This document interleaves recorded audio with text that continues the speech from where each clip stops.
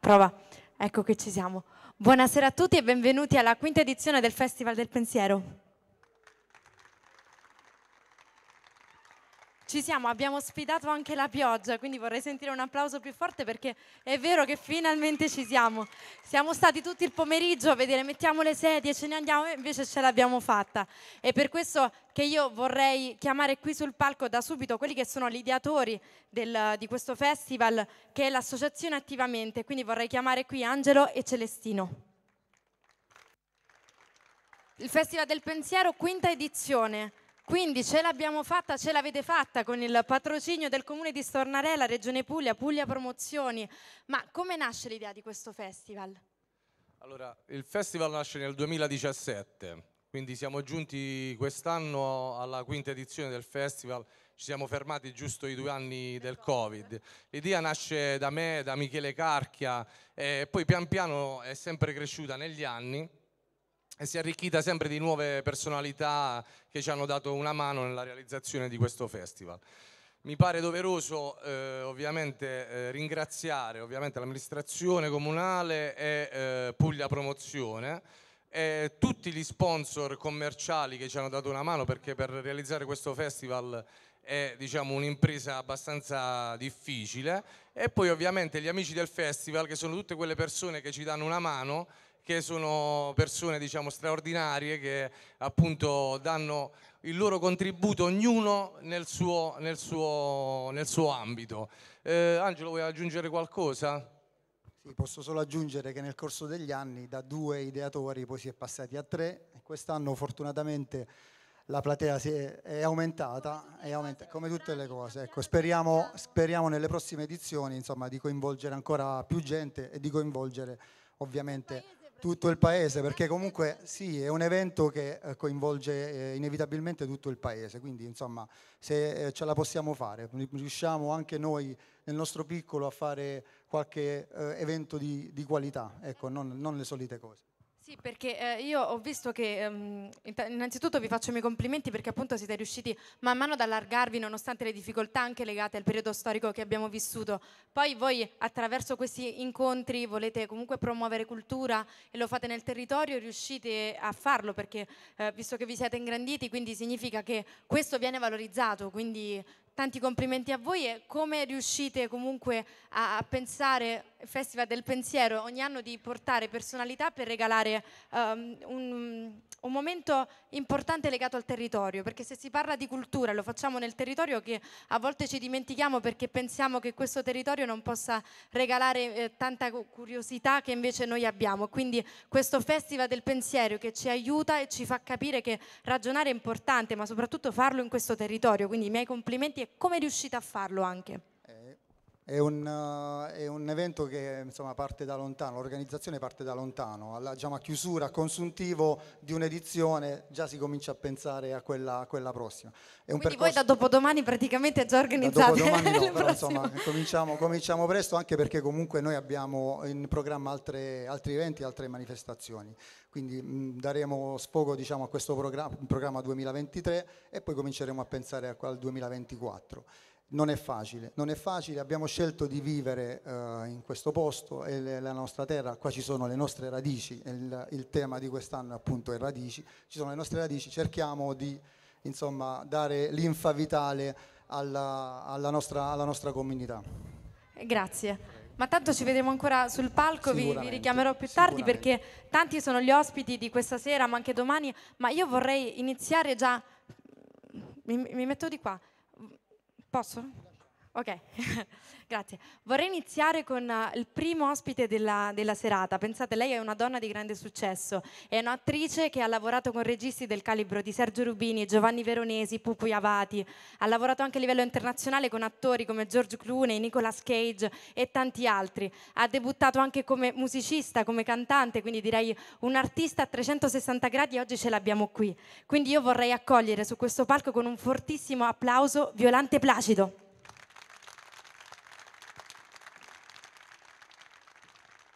Ciao Viola, benvenuta.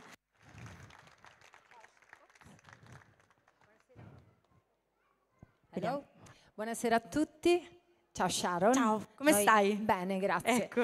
Io e Sharon oramai ci conosciamo da qualche anno. Infatti è bellissima questa cosa che io riesco a darti del tu così perché Sì, se no sarei esatto, stata veramente eh, in come se difficoltà. fossimo in un salotto di casa. È vero, Dai. ma poi perché comunque noi parliamo di radici e tu sei figlia di questo territorio. Eh sì, Hai sì. tanti momenti legati a questa terra, di, di infanzia soprattutto, ma anche molto recenti e ne parleremo Sì, bene. esatto. Ti va di raccontarci qualcosa, come, come ti sei trovata in questa terra? Eh sì, certo. Allora, ehm, io appunto sono legata a questa terra eh, per quanto riguarda le mie origini, sono cresciuta a Roma, poi mh, sono stata anche un po' girandolona, un po' perché i miei genitori appunto sono due attori e quando ero piccola che facevano le tournée teatrali spesso mi portavano in giro con loro.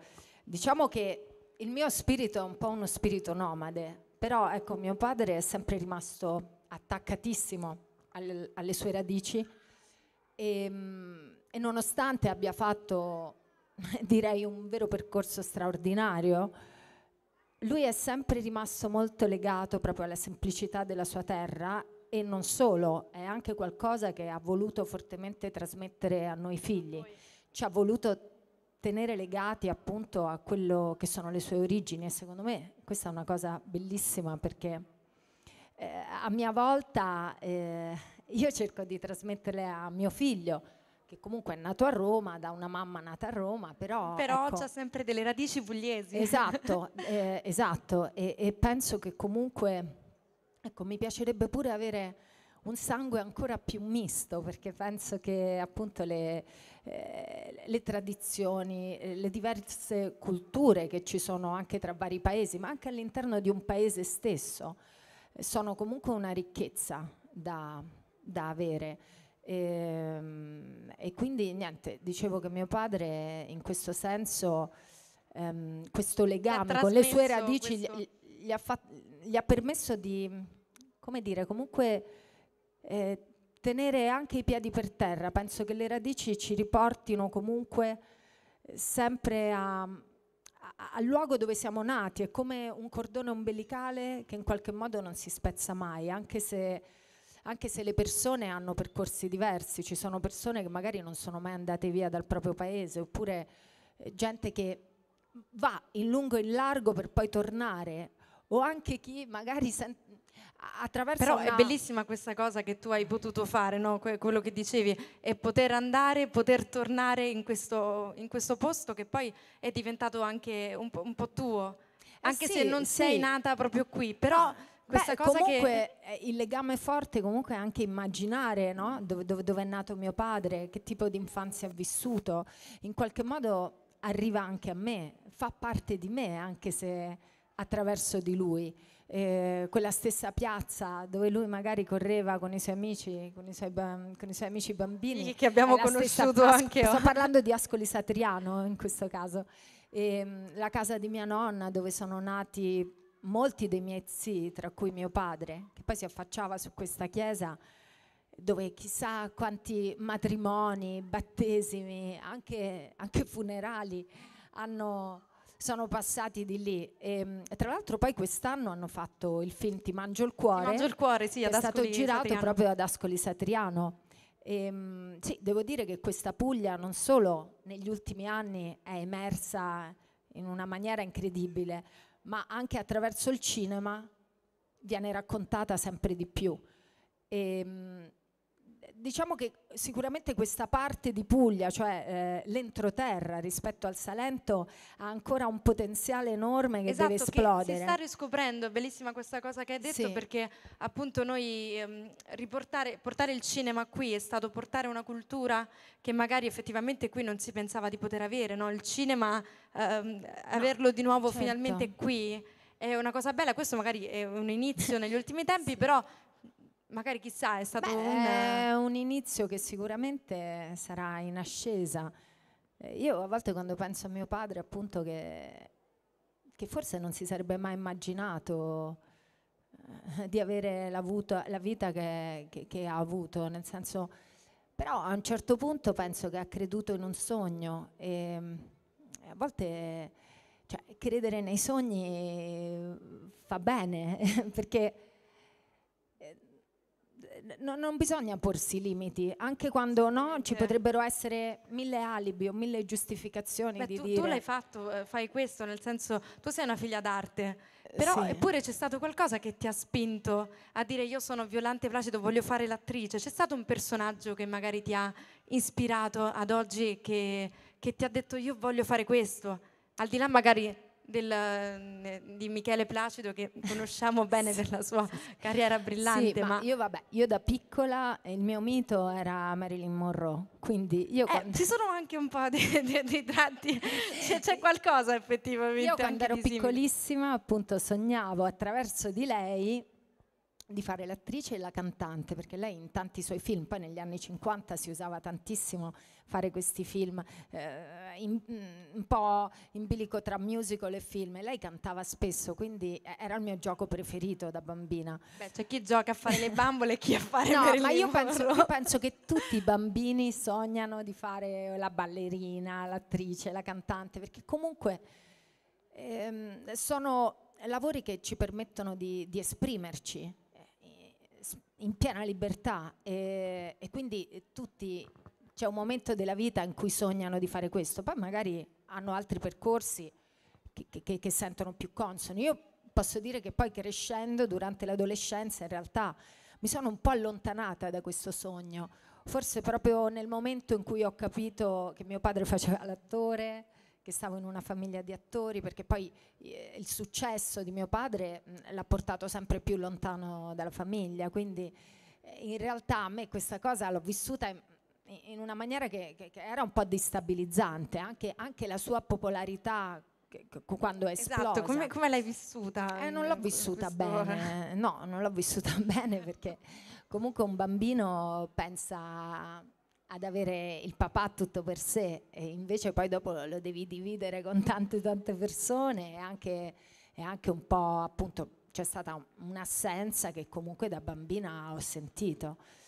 Poi vabbè, diciamo che ehm, il cinema quando eh, è- è- è- mi è venuto incontro perché appunto io mi sono un po' allontanata, in realtà il cinema in qualche modo ha bussato alla mia porta e quindi lì è stata una scoperta, nel senso che io avevo rimosso questo desiderio, pensavo ad altro, però sono sempre stata una persona curiosa, quindi È la curiosità che poi ti ha avvicinato anche la alla musica. curiosità, sì, la musica è sempre stata una mia passione, ehm, però è stato anche qualcosa di cui mi sono privata perché mm, non mi sentivo adatta, pensavo che, che non era... mm, non avevo il talento Se non necessario. ti senti adatta tu. No, però eh, questo sai, tante persone a volte si privano di qualcosa perché pensano, mm, non lo so, forse non hanno abbastanza autostima, non, eh, non si permettono di, di provare qualcosa. Io dico sempre, è meglio provare, se qualcosa ti incuriosisce, provala.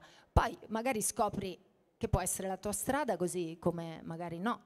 Però diciamo che appunto io la musica poi ho iniziato a viverla tardi, verso i 22 anni. E quindi invece tu stai bene con me, che è il tuo ultimo singolo. Sì.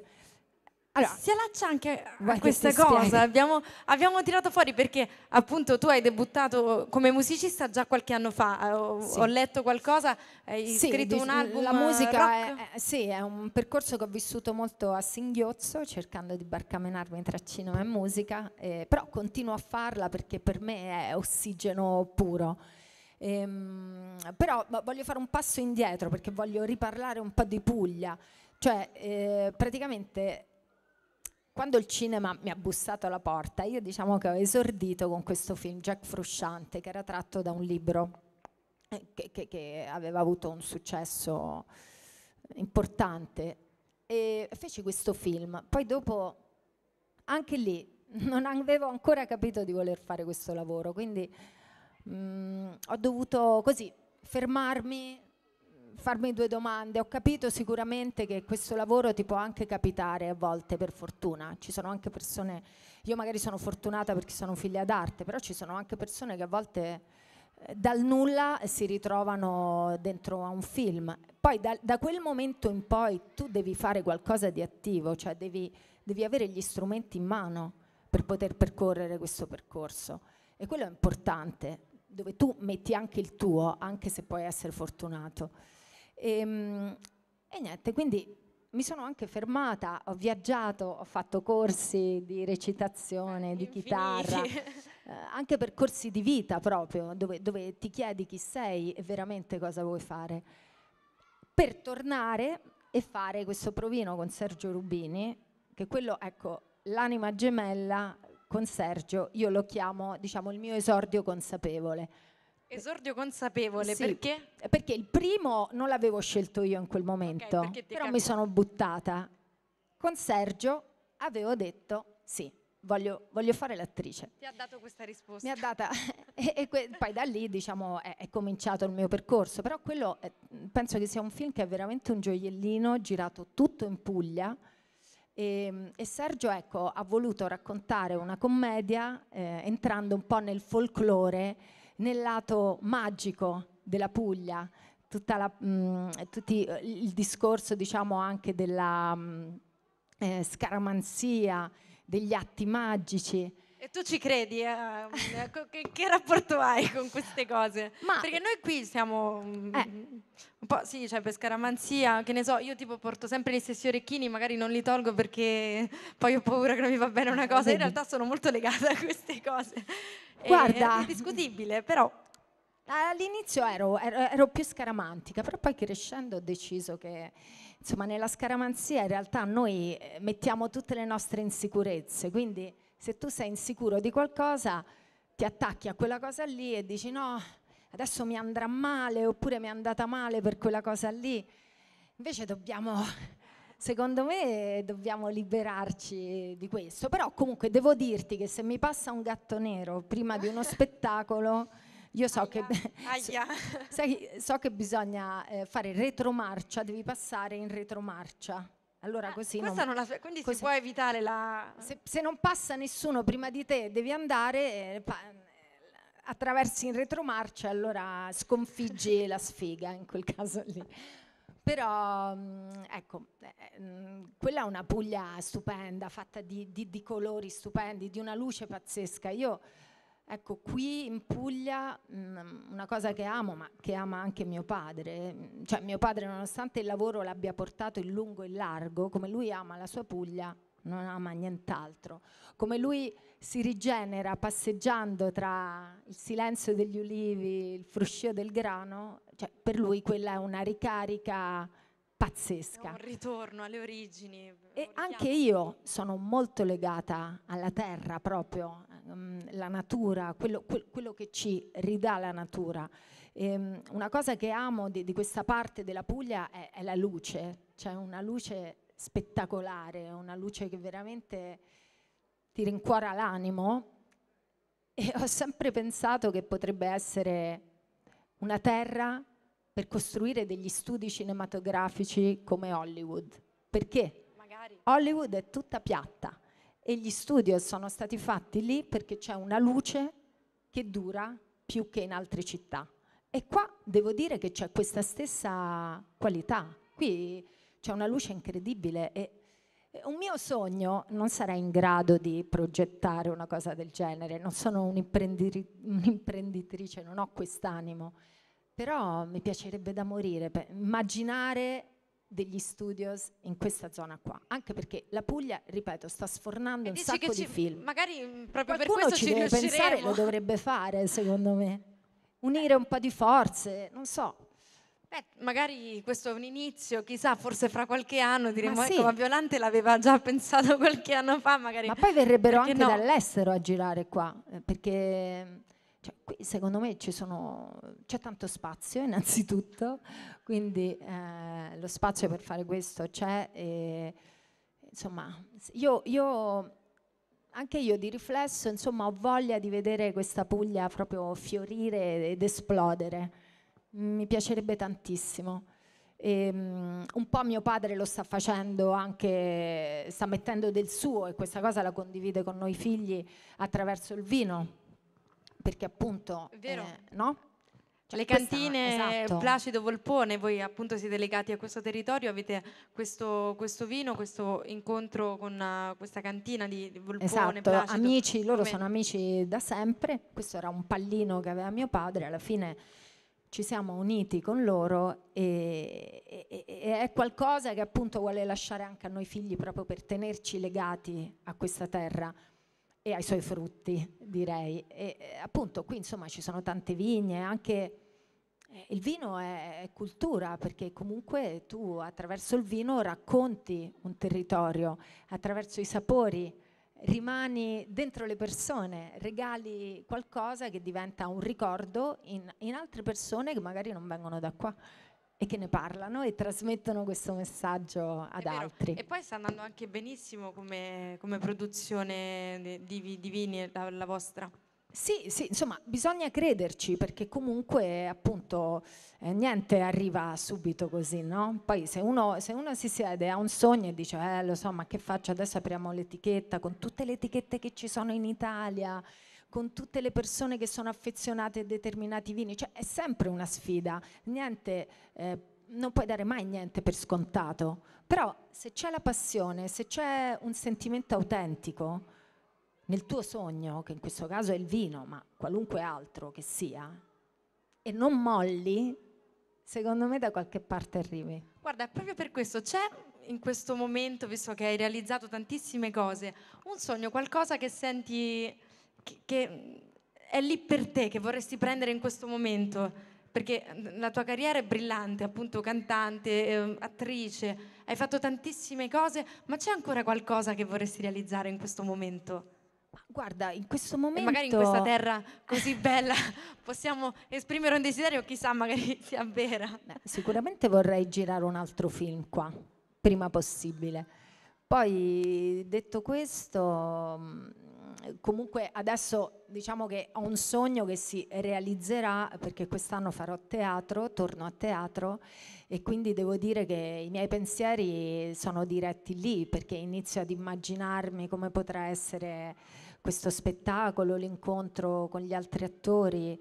Ehm, il teatro è bellissimo perché comunque ti mette in contatto con le persone, viaggi l'Italia, l'Italia è stupenda perché io da piccola ho avuto la fortuna di viaggiare molto, sempre fuori dall'Italia e adesso che sono più grande, cioè mi rendo conto realmente di che gioiello è questo paese, non solo perché lo si dice, ma perché veramente è un paese incredibile, perché dal nord al sud, ovunque, ogni piccolo paese ha una sua particolarità, um, che può, può essere da dall'arte, da una chiesa, dal cibo, cioè qualcosa che puoi mangiare solo in quel posto lì. Eh, qualcosa che abbiamo puoi tante vedere. di cose esatto. che possiamo mangiare. Tra l'altro qui a Stornara una cosa che mi è piaciuta molto, perché come dicevi tu, tu stai bene con me, torniamo lì.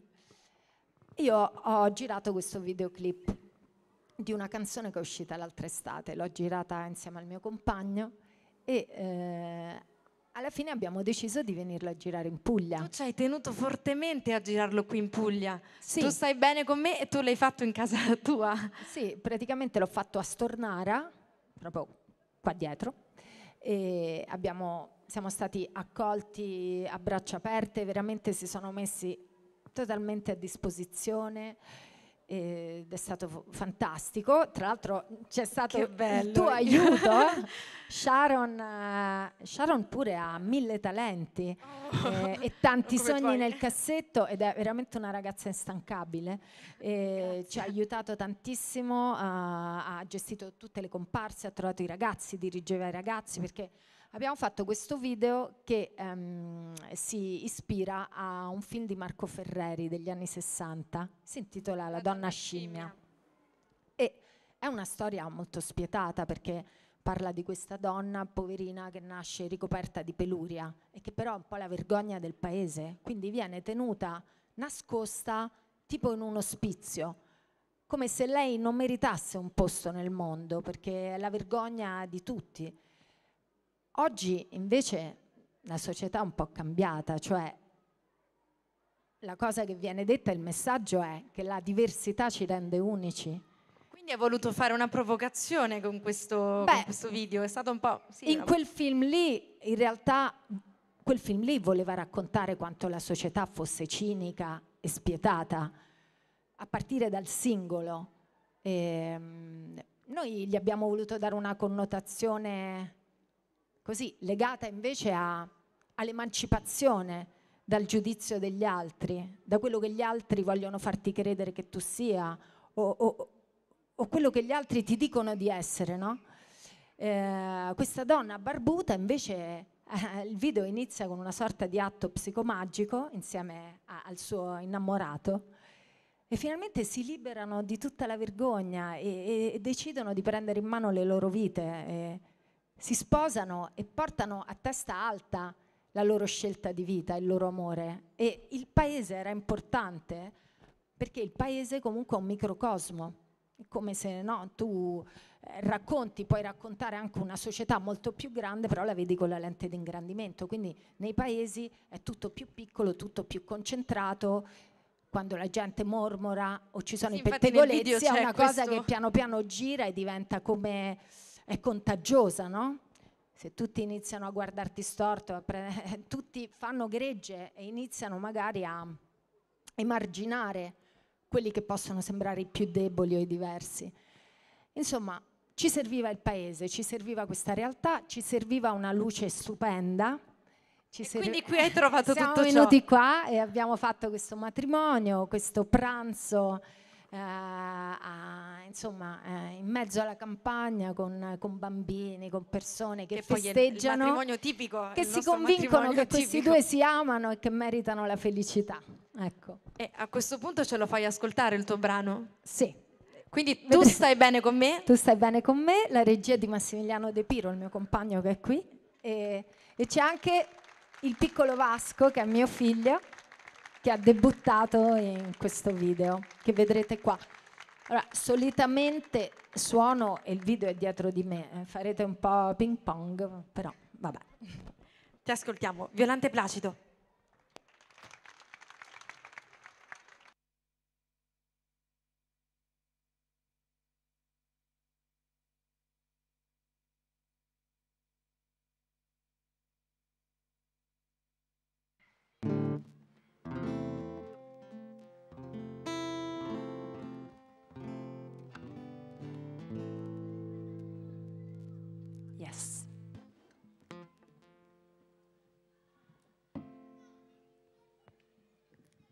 Quando è partito, fai un segno?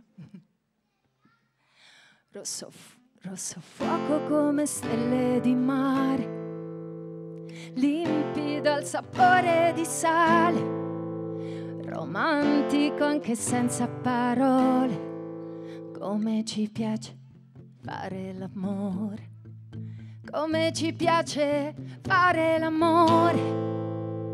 Tu stai bene con me, non ti chiedi neanche il perché. Tu stai bene con me, non ti chiedi neanche il perché. Fermare il tempo, respirare lento, cogliere ogni momento senza paura di naufragare. Oh, oh, com'è profondo il mare. Oh, oh, com'è profondo il mare. Tu stai bene con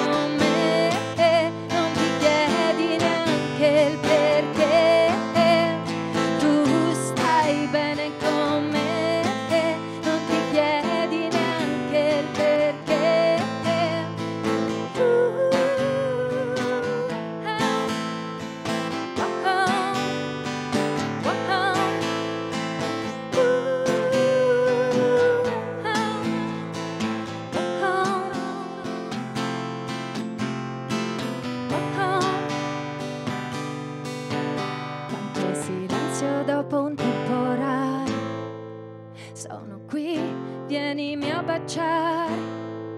Senti ora il battito del mio cuore, come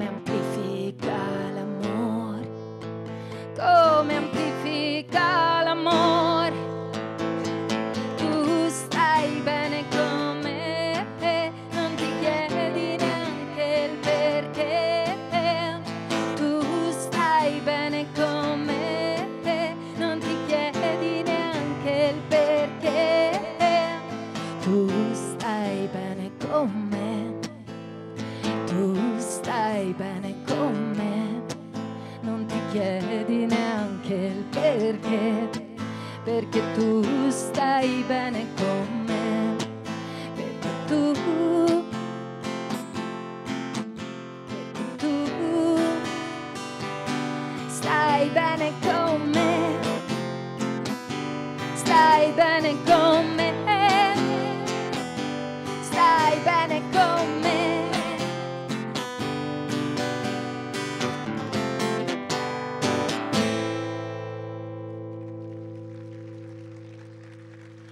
Grazie.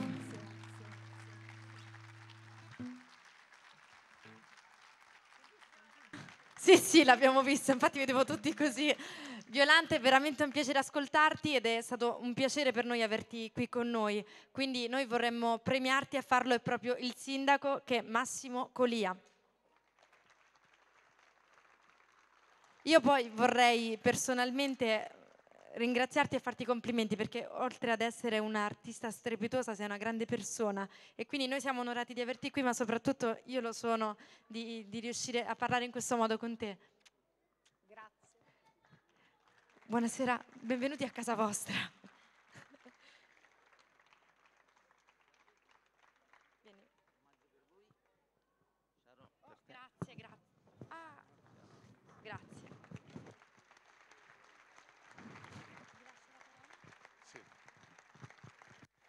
Buonasera, buonasera a tutti. Un saluto ovviamente a tutti i presenti, in particolare ai nostri illustri e graditi ospiti. È un piacere e un onore come amministrazione, siamo qui in effetti il sindaco e la vice sindaca per consegnare questo premio perché è una donna, diciamo, del nostro, una figlia della nostra terra, Violante in realtà. E, Ovviamente per noi, come dicevo, è un piacere perché eh, avviene in un contesto importante, perché una manifestazione come eh, questa di questa sera del Festival del Pensiero in una piccola realtà non è facile da realizzare. E Stornarella, dobbiamo dire, non si accontenta di fare le cose semplici, perché abbiamo il Festival del Pensiero a, a luglio. Eh, vogliamo, vogliamo sempre fare le cose un po' più complicate. Tant'è vero che dopo il Festival del Pensiero eh, avremo a luglio il Festival del Jazz dove avremo un ospite di fama internazionale, un trombettista italiano e flicornista Paolo Fresu, dove solitamente diciamo, lo trovi nelle grandi realtà che economicamente hanno diciamo, una capacità di spesa differente. Ma noi lo vogliamo fare perché come comunità siamo convinti che queste occasioni diventano delle occasioni esclusive di conoscenza perché, per chi vi partecipa, di, di, ispirazione, di confronto e quindi tutti quelli che hanno la possibilità in queste piccole realtà poi lo fanno in maniera diretta con chi è sul palco, quindi cade quel filtro che solitamente diciamo, o quel distacco che ci sta di solito quando non lo fai live, diciamo così. Per questo noi eh, siamo diciamo, testimoni con la nostra presenza di quello che ho appena definito di dire. E, ehm, ci teniamo che continui e in effetti abbiamo patrocinato e contribuito anche diciamo, in parte economicamente. Sicuramente l'assessore alla cultura che si è spesa anche per, per questo vorrà sicuramente dire qualcosa. Grazie Sindaco, mi associo ai tuoi saluti e ai tuoi ringraziamenti per i promotori e mh, gli organizzatori di questa bellissima kermesse culturale, un evento che è veramente tanto atteso dalla cittadina, dalla nostra comunità per tutto il lustro che le dà. Una comunità che però a onor del vero è veramente vivace. Si è appena concluso un mese di, un intero mese di eventi culturali. L'abbiamo chiamato il Maggio dei Libri Stornarella città che legge, perché Stornarella ha ricevuto la meravigliosa qualifica per il secondo biennio consecutivo di città che legge dal Ministero della Cultura. È stato un mese di eventi voluti fortemente e organizzati da tutte le realtà del nostro territorio, dall'amministrazione comunale, dalle tante associazioni del nostro territorio e soprattutto dalle nostre scuole. Sono tutte il fiore all'occhiello di questo territorio e quindi l'auspicio che io voglio fare agli organizzatori e ai promotori di questo festival è che comunque possa continuare a crescere, possa arricchirsi di nuove ispirazioni, di nuove intuizioni, di nuove idee, di nuovi progetti anche grazie all'apporto delle scuole. In questi nove anni ho imparato una cosa, non c'è stata una sola occasione in cui le scuole abbiano fatto mancare il proprio apporto, la propria collaborazione fattiva e soprattutto il loro apporto mm, contributivo veramente importante, veramente arricchente per ogni situazione. Per ogni situazione. Quindi io mi taccio, passo la parola di nuovo al sindaco e di nuovo complimenti a tutti. Allora, a Violante Placido il premio Radici per aver contribuito a dare lustro alla propria terra con il suo lavoro. Stornarella 3 giugno 2023. Grazie, grazie. E complimenti a voi davvero per quello che fate. Buonasera a tutti. Buonasera, grazie. Violante, purtroppo proprio dobbiamo salutarti. Noi ti terremo qui per ore in realtà. Quindi grazie, grazie, grazie. Buon Violante Placido. Grazie Sharon. Lascio un attimo i fiori.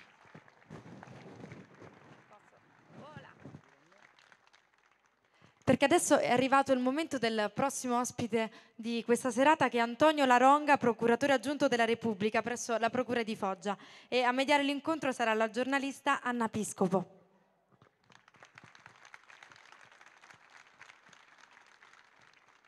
a dare ancora più lustro a questo festival. Siamo ancora una volta tanto tanto onorati, quindi buonasera a tutti e vi lascio.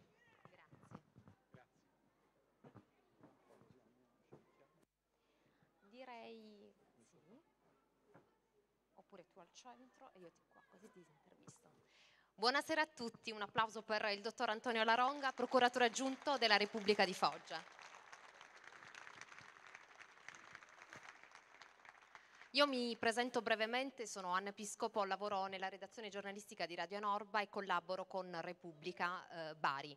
Eh, per me è un grandissimo piacere, un onore dialogare mh, con, con uh, il dottor Laronga e adesso lo capirete anche voi perché. Poco prima di iniziare abbiamo fatto una, un'intervista eh, che verrà pubblicata appunto sul giornale e io l'avrei ascoltato per ore, più che un'intervista era una vera e propria ehm, un vero e proprio insegnamento come cittadina prima che come giornalista che è il lavoro che provo a fare con piacere da, da qualche anno. Si è parlato fino adesso di, di, sogni, di bellezza. Ecco, io continuerei su questa scia perché attraverso il libro La quarta mafia del dottor Laronga noi vogliamo anche parlare di sogni e di bellezza, di come come cittadini e come società civile possiamo dare il nostro contributo ad un fenomeno, in un fenomeno, nel contrasto meglio di un fenomeno come quello della, della mafia. Una quarta mafia, viene definita così la mafia che afferisce al territorio foggiano, una mafia ehm, cruenta, criminale, variegata. La, l'ultima relazione della Direzione Investigativa Antimafia, che ogni sei mesi pubblica questo rapporto sullo stato delle mafie in Italia, ci dà il, eh, il ritorno anche di una situazione pugliese in particolare. Noi siamo appunto in un territorio stupendo come, come questo di Stornarella, ma in generale del Gargano, della Capitanata, eh, molto, molto variegato e eh, molto attivo dal punto di vista appunto delle azioni, eh, delle azioni criminali, una mafia eh, definita, eh, definita, rurale, arcaica nei modi di, di, agire e di affermarsi sul territorio, che però negli ultimi anni sta dimostrando un vero e proprio salto di qualità, diventando sempre di più una mafia imprenditrice. Ma che cosa significa? Come, come cittadini noi che cosa possiamo fare nel contrasto di questo eh, fenomeno che ci riguarda tutti, grandi e piccoli, agricoltori o imprenditori, insegnanti o cantanti, ci riguarda tutti perché siamo, eh, siamo cittadini prima di tutto. E il libro La quarta mafia che vi invito a leggere ci insegna proprio questo, dalla genesi della, de, di questa forma criminale all'evoluzione che sta avvenendo, ci mette anche in guardia rispetto a una non sottovalutazione di questo territorio, tanto è vero che noi abbiamo avuto eh, il procuratore nazionale antimafia, eh, Caffiero De il ministro dell'interno eh, che non pochi mesi mesi fa è stato, è stato, a Foggia. Che cosa significa allora? Perché i riflettori sono puntati su questo territorio? Perché è così pericolosa ed è stata definita già da un po' di tempo un'emergenza nazionale?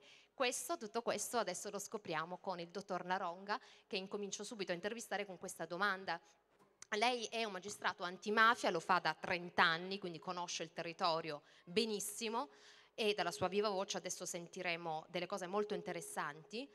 Um, cosa significa essere un magistrato antimafia in un territorio in cui ci sono, a partire da Foggia, comuni sciolti per infiltrazioni mafiose? Buonasera, grazie per l'invito e complimenti agli organizzatori di questo festival ehm, che è particolarmente interessante. Io francamente pur eh, vivendo in questo territorio da molti anni eh, dire, ne ignoravo l'esistenza, quindi invito gli organizzatori a, eh, dire, a farlo conoscere perché veramente è una bella realtà di questo territorio. Dunque la eh, quarta mafia è la definizione dei clan mafiosi della provincia di Foggia eh, in particolare la storia giudiziaria di questo territorio eh, ci consente di individuare quattro aree geocriminali nelle quali sono allocati i clan mafiosi della provincia di Foggia. Quando uso la parola clan mafioso, uso questo termine in senso tecnico perché si tratta di organizzazioni criminali non di pecorai o di gangster, sono associazioni mafiose che hanno il bollino DOC, sono certificate con sentenze definitive passate in giudicato di condanna per associazione mafiosa, articolo 416 bis del codice penale. E la provincia di Foggia è un territorio infestato da queste organizzazioni, ne sono tante, non si deve parlare di mafia foggiana ma di mafie foggiane ci sono quattro aree geocriminali. La prima è quella del capoluogo di provincia, dove c'è la società foggiana. La società foggiana che è eh, diciamo una organizzazione composta da diverse batterie. Le batterie sono le unità di base della eh, società, della mafia foggiana. Poi c'è la zona del Gargano, la mafia garganica, eh, è appunto tutta la zona del promontorio garganico. In questa zona del territorio eh, ormai da anni opera un clan mafioso particolarmente violento, cruento, che è riconducibile alla famiglia Libergolis di Monte Sant'Angelo. Poi c'è una terza area geocriminale che è quella del Basso Tavoliere, la mafia cerignolana, la zona appunto di Cerignola, ma anche diciamo, questi territori, Stornara, Stornarella, sono appunto territori nei quali operano i clan della mafia cerignolana e anche la mafia cerignolana è stata accertata come mafia. Il processo Cartagine, il primo processo risalente agli anni 90 dello scorso secolo, accertò appunto la ferocia e la natura mafiosa del clan Piarulli, Ferraro e Mastrangelo. Qualche anno dopo ci fu un altro processo, il processo Halloween, che riconobbe la natura mafiosa del clan Taddone, la famiglia di Tommaso di eh, Cerignola. E poi c'è una quarta area geocriminale che è l'area dell'Alto Tavoliere, San Severo, la zona di San Severo e anche lì diciamo ci sono dei clan che attualmente sono appunto eh, stati qualificati come associazioni di tipo mafioso. Quindi lavorare in questo territorio significa lavorare in un territorio infestato dalle organizzazioni di tipo mafioso. E quindi tutto questo rende estremamente complicato il lavoro sia delle forze dell'ordine sia dei magistrati e rende estremamente difficile la vita per gli imprenditori commerciali, per diciamo, le amministrazioni comunali per diciamo, le imprese, per i professionisti. Significa confrontarsi quotidianamente con criminali feroci che stanno però cambiando. Quali sono i maggiori canali di approvvigionamento di queste mafie? Perché a questo punto noi dobbiamo assolutamente parlare al plurale. Quali sono maggiori, le maggiori fonti di, di investimento? Allora, le organizzazioni criminali di tipo mafioso non solo quelle foggiane, ma quelle nazionali in genere, ma anche quelle foggiane, e lo vedremo di qui a brevissimo, hanno cambiato strategia. negli ultimi vent'anni ormai le mafie sparano poco e corrompono di più, dialogano, preferiscono comprare le persone, non ucciderle, perché quando tu uccidi una persona fai rumore, quando tu metti una bomba fai rumore e quindi la comunità, lo Stato reagisce. Le mafie oggi stanno più, ecco, più che da, non, non, è proprio oggi, già da molti anni, da, negli ultimi, almeno negli ultimi vent'anni, sono cambiate, hanno cambiato il loro metodo di azione. Preferiscono appunto agire sotto traccia, in modo appunto clandestino, attraverso il dialogo, attraverso la collusione con appunto il mondo dell'impresa, con il mondo istituzionale. Tutto questo lo stiamo notando anche riguardo alle mafie foggiane. E di questo che vi sto per raccontare ci sono appunto eh, segnali molto, eh, come dire, probanti. In particolare ci sono organizzazioni criminali che eh, reinvestono il denaro che proviene, la liquidità infinita che proviene da, dal traffico di droga, che proviene dalle rapine milionarie, che proviene dalle, dall'usura, dall'estorsione, dal contrabbando, ecco queste, questa liquidità viene reimpiegata nella economia legale del territorio attraverso appunto il riciclaggio. Guardate, il riciclaggio di denaro sporco è il principale canale di contaminazione tra l'economia illegale e l'economia legale. Il, queste organizzazioni criminali stanno investendo in attività commerciali, bar, ristoranti, lidi, B&B, eh, imprese varie. E in, questa, in questo settore, in questa economia legale, ci mettono il denaro che proviene dal traffico di droga.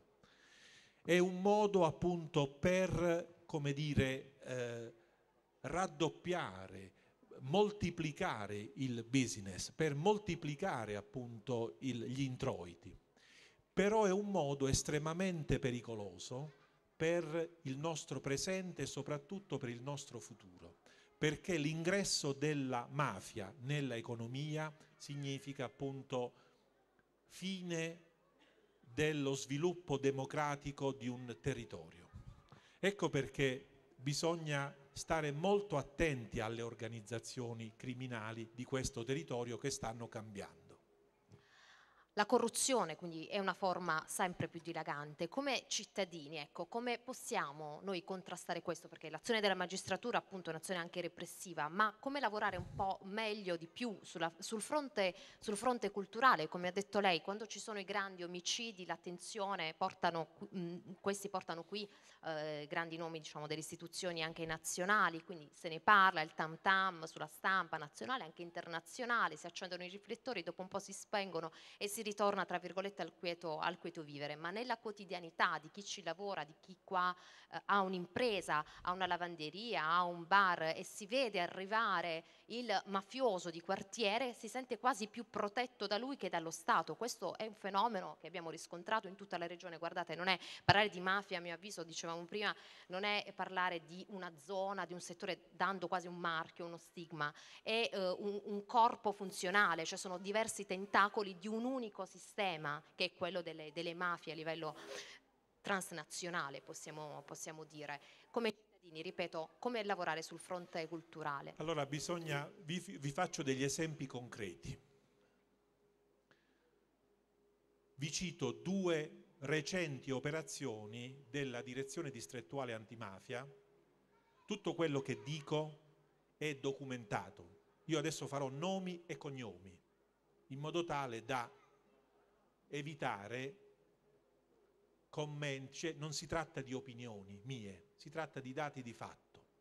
Operazione Omnia Nostra, mercato ittico di Manfredonia, operazione Grande Carro, società foggiana. Che cosa viene accertato nella operazione Omnia Nostra? Quello che vi dico prescinde dalla colpevolezza in sede penale, sono dei dati storici di fatto. A Manfredonia non funzionava il mercato ittico comunale, quindi il mercato del pesce era gestito da grossisti che acquistavano il pesce dai pescatori.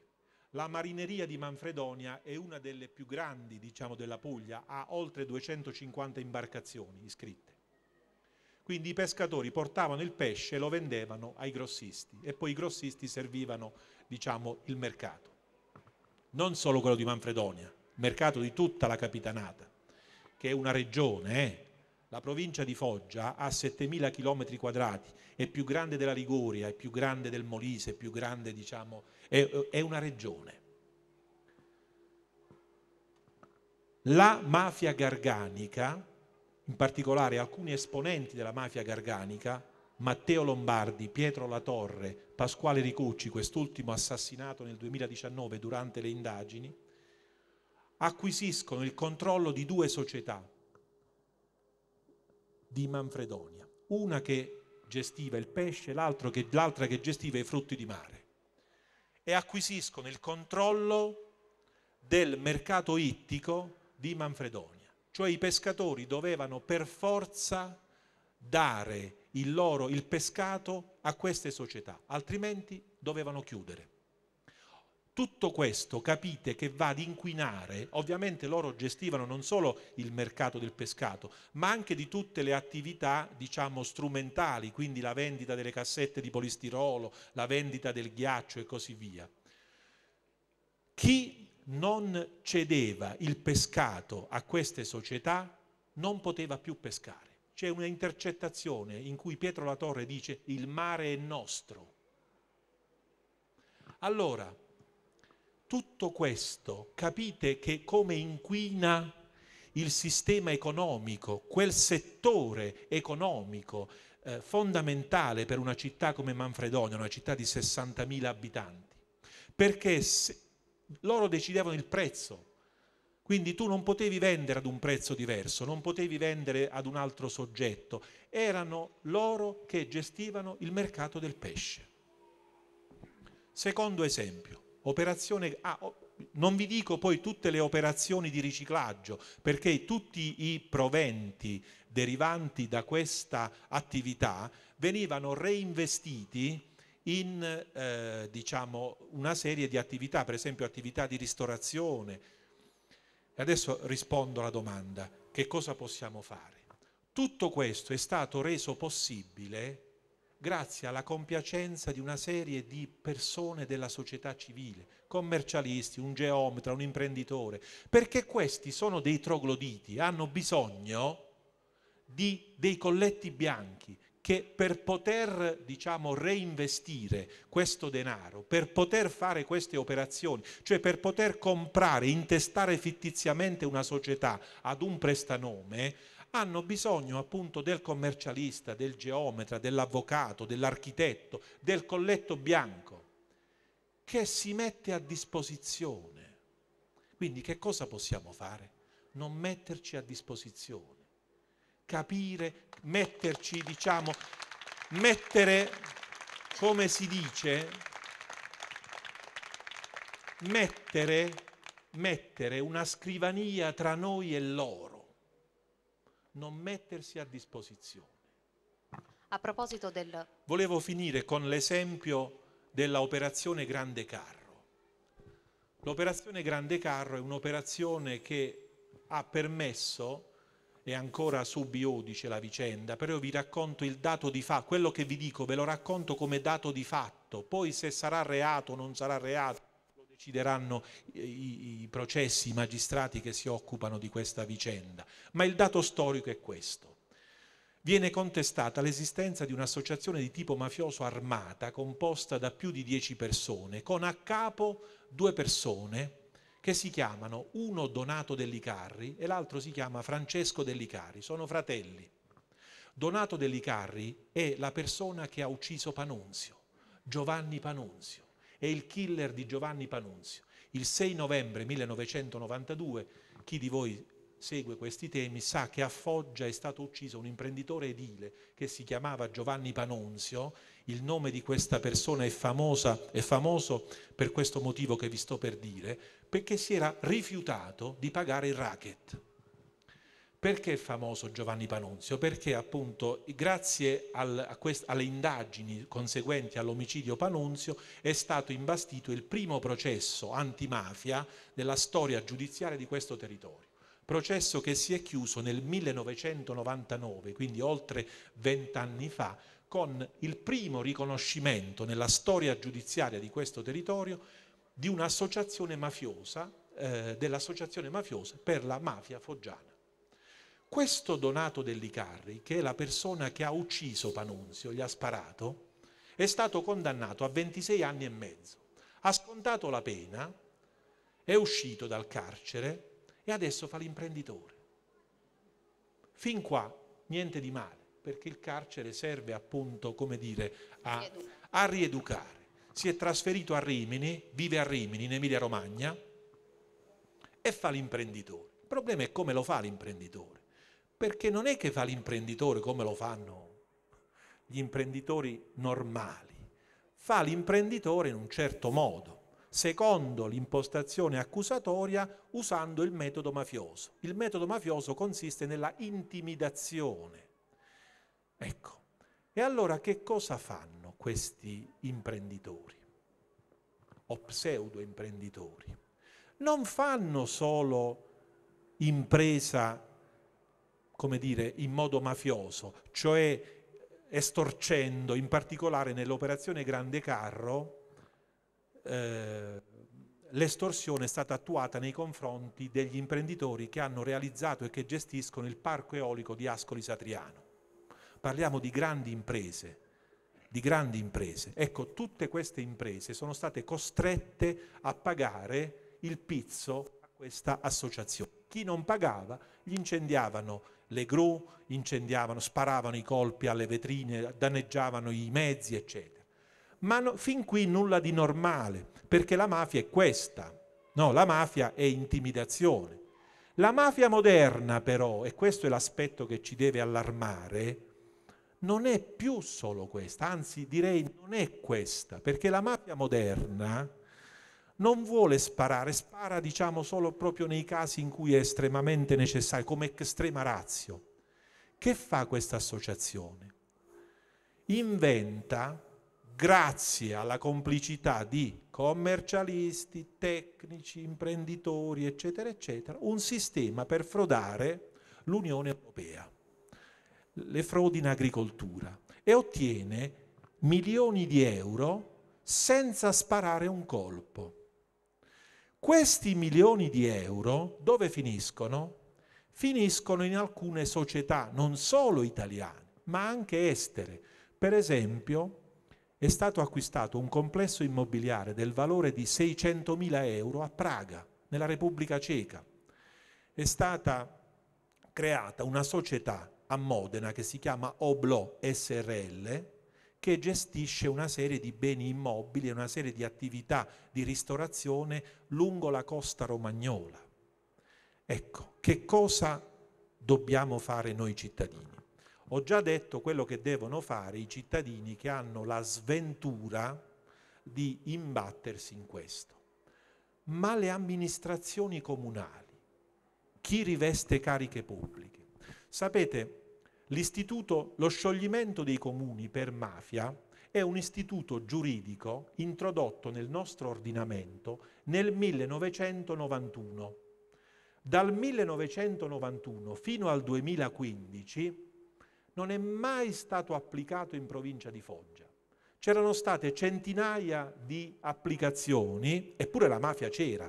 Vi ho detto, no, la mafia, l'omicidio Panonzio nel 92, eh, negli anni 90 sono stati celebrati tanti processi di mafia, il processo dei Before, il processo eh, Iscaro Saburo alla mafia garganica, il processo Cartagine ai Cerignolani, no? Eppure mai le amministrazioni comunali sono state sciolte per mafia. Dal 2015 inizia uno stillicidio. Il primo comune ad essere sciolto Monte Sant'Angelo, poi Mattinata, poi Manfredonia, poi Cerignola, poi Foggia. Foggia è il secondo capoluogo di provincia dopo Reggio Calabria ad essere sciolto per mafia. Poi Trinitapoli e adesso non so, c'è Ortanova che è qui a due passi. Sapete ad Ortanova insomma c'è una situazione poco piacevole, c'è una commissione di accesso, vedremo che cosa farà non so quale sorte subirà, però questo per chi analizza questi fenomeni un significato ce l'ha.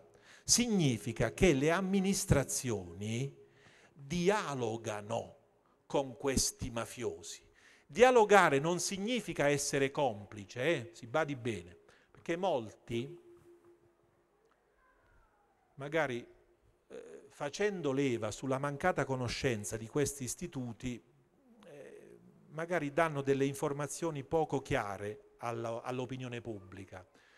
Un sindaco può essere sciolto per mafia non perché è complice del mafioso, a volte lo è, a volte lo è, capita, ma anche quando è vittima, quando lui non è più in grado di resistere alla pressione mafiosa quando va il mafioso in comune e dice tu o assumi questa persona, fa, o metti questa persona a fare lo spazzino, oppure io ti faccio saltare la macchina. È chiaro? Il sindaco, persona magari per bene, che ha paura, che ha un figlio, ha una moglie, eccetera, si spaventa, si spaventa, non è più in grado di amministrare con imparzialità, come dovrebbe fare, come dice la legge. In quel caso quel comune va sciolto. È chiaro? Questo per chi analizza questi fenomeni significa, ecco, proprio, eh, significa che cioè significa che i mafiosi stanno cambiando i loro obiettivi, non esercitano, non svolgono più la loro attività con un metodo, con quel metodo mafioso, intimidatorio, tradizionale, militare direi, ma eh, hanno un atteggiamento di tipo dialogico, proattivo, cercano di entrare nelle, nell'economia, cercano di investire i capitali nell'impresa, cercano di dialogare, di comprare il pubblico amministratore per avere poi dopo la concessione, l'autorizzazione, il permesso, perché se tu fai impresa, hai un bar, un lido, un ristorante, un albergo, hai bisogno del permesso dell'impresa, del, hai bisogno diciamo, dell'autorizzazione, della concessione. Quindi questo siamo chiamati a fare. Concludo mi ha detto che cosa fare.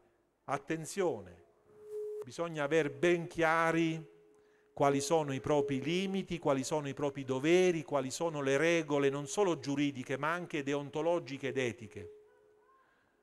Chi non è in grado non si mette in mezzo.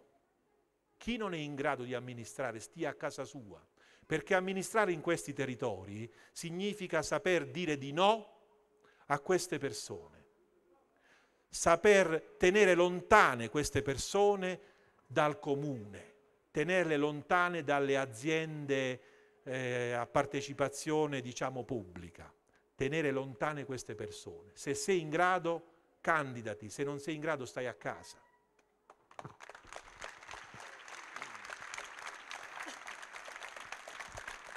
Vi avevo detto che sarebbe stato un piacere ascoltarlo. Ed effettivamente è così. Prima, eh, chiedo scusa, ti stavo interrompendo, ma poi mi ha anticipato, era esattamente il riferimento all'imprenditore a, Panu, a Giovanni Panunzio che, che, che miravo. Nel, a proposito di, di questo, eh, hai risposto perfettamente alla domanda anche in modo più completo rispetto a come l'avevo posta, nel senso che eh, cittadini cosa possiamo fare, noi come, come, società civile, ma cosa possono e devono fare le pubbliche amministrazioni, perché ovviamente eh, non siamo dei corpi scollegati assolutamente. E mm, nel libro hanno spazio, nel, nel, tuo libro hanno spazio anche le storie appunto di imprenditori che hanno scelto di non abbassare la testa di fatto, pagando loro stessi con la vita, ma anche i fratelli Luciani vi, che si sono trovati diciamo, vittime un po' inconsapevoli quando no, le definiamo vittime innocenti, tutte poi le definiamo vittime innocenti di mafia, loro e tanti altri nomi. Il loro sacrificio ad oggi è servito a qualcosa, serve a qualcosa, che cosa dicono questi nomi alle generazioni più giovani anche? Beh, sicuramente il territorio eh, dà dei segnali, eh? il territorio sta dando dei segnali, soprattutto dopo il quadruplice omicidio del 9 agosto 2017. Eh, ci sono tante associazioni, sono, eh, c'è reazione anche da parte, eh, c'è una reazione forte anche da parte della comunità civile eh, quindi ehm, questi sono segnali di speranza. È fondamentale, guardate, ciascuno di noi è chiamato a svolgere un compito, non bisogna fare gli eroi, ci vuole poco. Eh. Sicuramente il, l'attività repressiva da parte dello Stato è fondamentale, anche se è molto difficile farlo in questo territorio, perché vi dicevo è un territorio di 7.000 km quadrati e 7.000 km, come dire, vigilare 7.000 km quadrati non è semplice, occorrono molti uomini, occorrono molti mezzi e non ce ne sono.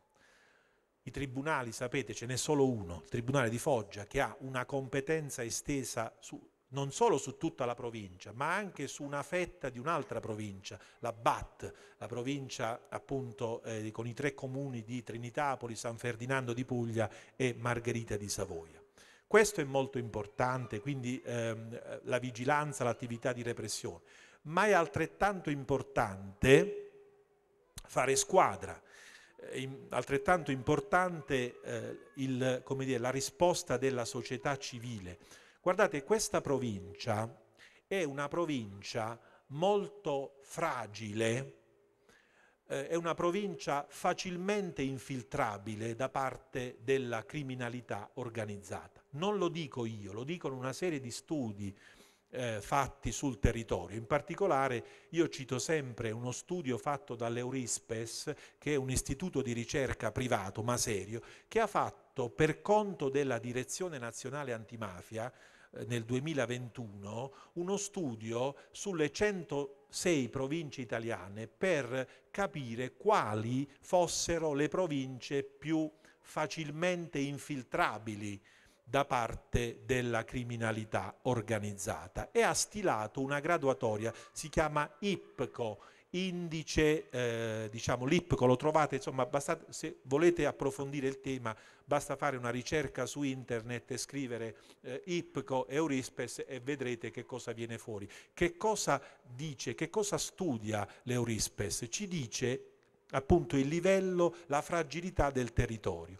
Ebbene, eh, la provincia di Foggia, in questa, poi l'Eurispes ha stilato una, una classifica nazionale e, ebbene diciamo, la provincia di Foggia in questa classifica è ai primi posti, al settimo posto in Italia, dopo Caserta, Reggio Calabria, Crotone, Napoli, insomma Caltanissetta, questi posti dove c'è una forte presenza mafiosa. Eh, quindi è un territorio molto fragile, è un territorio dove diciamo, la eh, mafia ha gioco facile, si infiltra facilmente nell'economia, nelle istituzioni e questa graduatoria è stata stilata sulla base di una serie di indicatori. Quali sono questi indicatori? Anzitutto il livello di ricchezza delle famiglie, poi il mercato del lavoro, il sistema del lavoro, se, sono, diciamo, se il mercato del lavoro è garantito, la, la struttura del tessuto imprenditoriale, le imprese, sono, gli imprenditori sono, de, sono, molto deboli, spesso si trovano a competere con forme di economia sommersa che li rende praticamente eh, molto molto fragili. L'offerta dei servizi pubblici, il livello di illegalità generale, cioè sono tutta una serie di indicatori che messi insieme ti consentono di ricostruire l'indice appunto di permeabilità del territorio. Questo territorio è facilmente permeabile da parte della criminalità organizzata. E qual è il dato di fondo che accomuna queste province? La vulnerabilità sociale. quindi bisogna fare delle politiche sociali. Torniamo sempre là. Le istituzioni, sia quella centrale sia quella locale, devono fare politiche sociali, altrimenti noi perdiamo il territorio. E poi il versante educativo, quanto è importante parlare di mafia, quanto è importante far capire il disvalore di certi comportamenti, no? la violenza, la, il guadagno facile, la, eh, la, la competizione spietata, sono tutta una serie di disvalori, l'indifferenza. Ma oggi, ma l'indifferenza che c'è rispetto alle forme di illegalità, tutti che tutti ci giriamo dall'altra parte. Quanto è importante, ecco, per esempio, fare un'opera di, dire, proprio di alfabetizzazione, diciamo, eh, sulle regole. Bisogna ecco, fare questo, quindi non pensare di delegare alle forze dell'ordine, alla magistratura. Certo, le forze dell'ordine e la magistratura hanno un compito difficilissimo, un'attività repressiva, eh, c'è il massimo impegno, ma questo non basta, tutti quanti noi siamo chiamati a fare eh, la nostra parte, le istituzioni con le politiche sociali, le agenzie educative con appunto eh, questa attività di educazione, di alfabetizzazione. Diceva Antonino Caponnetto, magistrato antimafia del POL, che la mafia teme la scuola più della giustizia. Quindi pensate quanto è importante questa attività di alfabetizzazione. Siamo tutti chiamati, ciascuno senza guardare agli eroi, appunto a Giovanni Panunzio, a Ciuffreda, che sono morti per aver detto no alla, al pizzo. Basta fare il proprio nel quotidiano, rispettando le regole, questo è secondo me diciamo, un tema decisivo, fondamentale.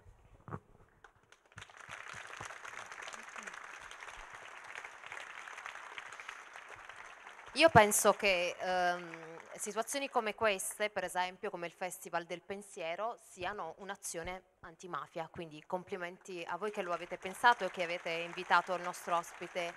Noi siamo alle battute finali, vorrei chiudere dicendo che Ok, um, siamo alle battute finali, um, quindi abbiamo visto uh, tanti canali di approvvigionamento, tanti fenomeni, c'è anche poi quello del caporalato che affligge un po' insomma, il nostro, anche questo territorio, che cosa può fare la società civile, cosa fa, deve fare la, la, la pubblica amministrazione, la, la magistratura.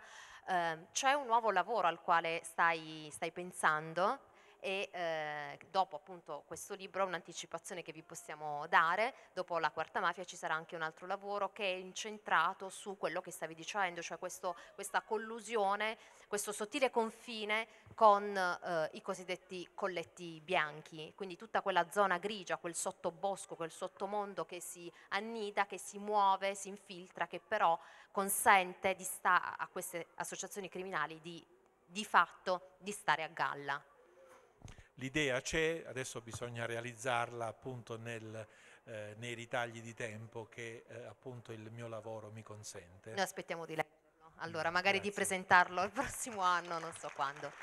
Grazie Antonio Laronga per il suo per la sua attività di procuratore aggiunto a Foggia, grazie. grazie a voi, agli organizzatori, buon proseguimento di serata grazie. a tutti. Questo è stato veramente un valore aggiunto, quindi grazie a voi, è stato veramente un onore, grazie. E vorrei ricordare inoltre che durante la serata sarà presente nei pressi eh, della libreria che è stata appunto allestita alle vostre spalle per l'acquisto dei, dei libri, firmacopie degli, degli autori e se volete anche porre delle domande. È stata allestita a cura della cartolibreria Fantasia, quindi se avete qualche domanda da porre potete recarvi presso la libreria. Eh, grazie. E poi vorrei proseguire con il prossimo ospite della serata che è Emilio Casalini e parleremo delle radici della bellezza e a moderare l'incontro sarà Natale Labia. Ciao Emilio, avete i microfoni qui? Ecco, vi lascio a poco.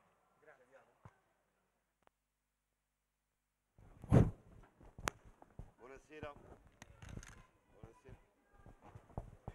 Buonasera a tutti. Buonasera a tutti, bentrovati. Ci ritroviamo ogni anno su questo palco, su questa splendida manifestazione che è il Festival del Pensiero. Io partecipo dalla prima edizione, quindi la conosco anche nella sua evoluzione. Noi abbiamo assistito adesso a un momento veramente importante con il dottor Ravonga che ehm, va ringraziato insieme a tutti i magistrati a tutte le forze dell'ordine per il lavoro per il lavoro che fanno e se posso permettermi agli organizzatori del festival eh, di proseguire con questi inviti perché parlarne non fa, eh, bisogna parlarne sempre. Però c'è anche un altro aspetto, è che quello che affrontiamo noi, come appunto rispondere a, questa, a questo attacco della criminalità, a questo attacco della bruttezza al nostro territorio e noi vogliamo rispondere con la bellezza e lo facciamo con un giornalista che eh, in tutta la sua carriera ha sempre cercato la bellezza e ha girato il mondo e quindi conosce le parti belle e le parti brutte. Emilio Casalini è stato eh, per tanti anni inviato in moltissimi teatri di guerra, dalla Serbia al Kosovo, al Gabon, alla, mm, in diverse parti del mondo.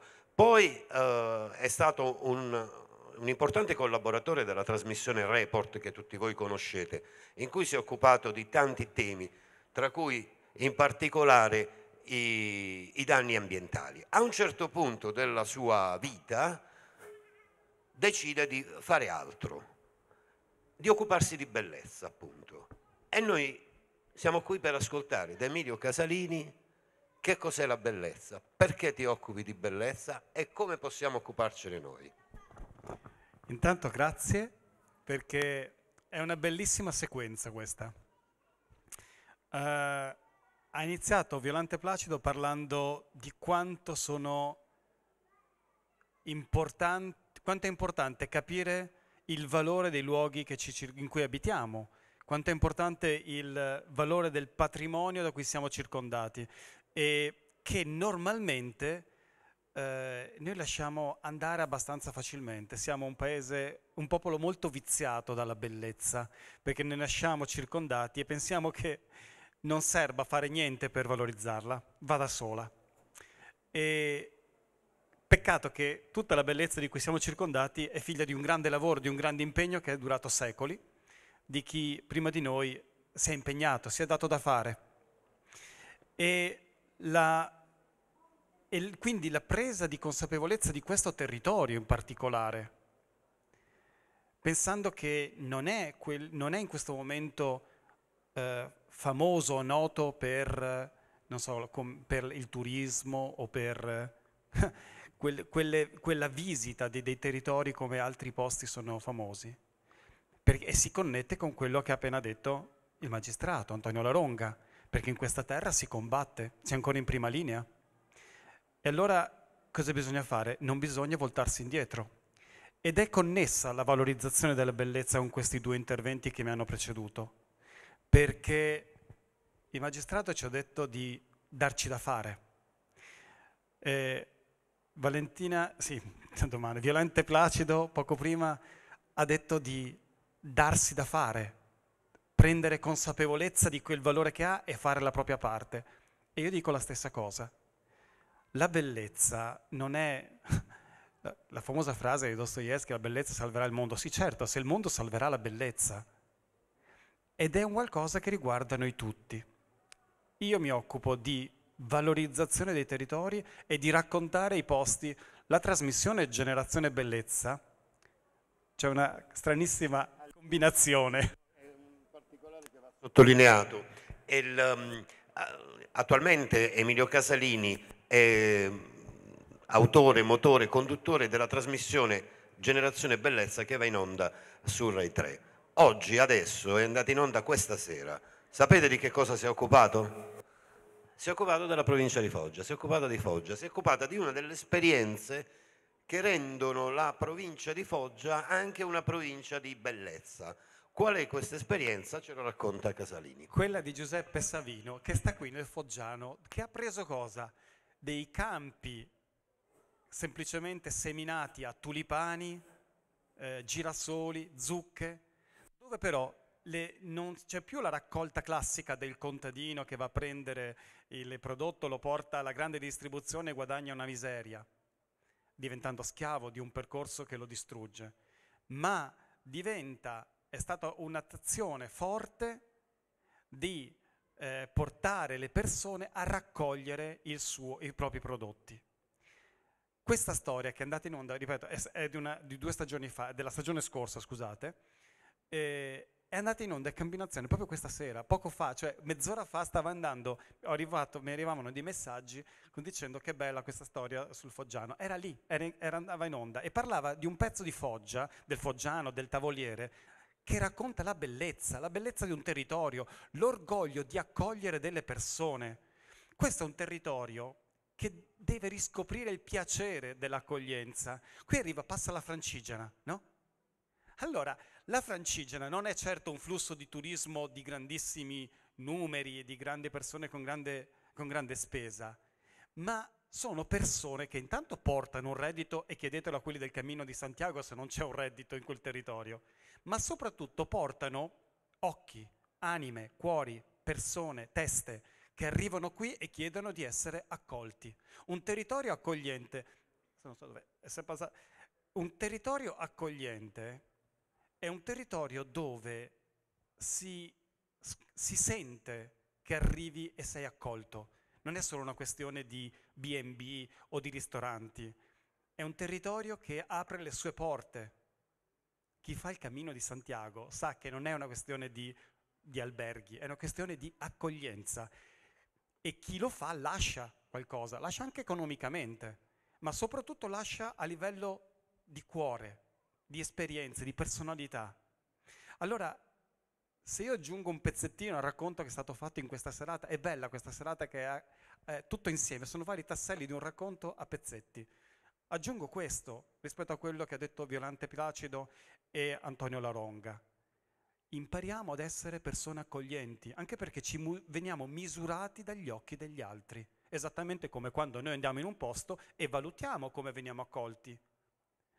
Sapete un piccolo dettaglio? Io dormo in un, in un B&B qua, nuovissimo, si chiama Il Vicolo, qua dietro, a, pochi, a 10 metri. È bello, è bello, è fatto bene, è fatto con cura, e questo è già un dettaglio di un cambiamento.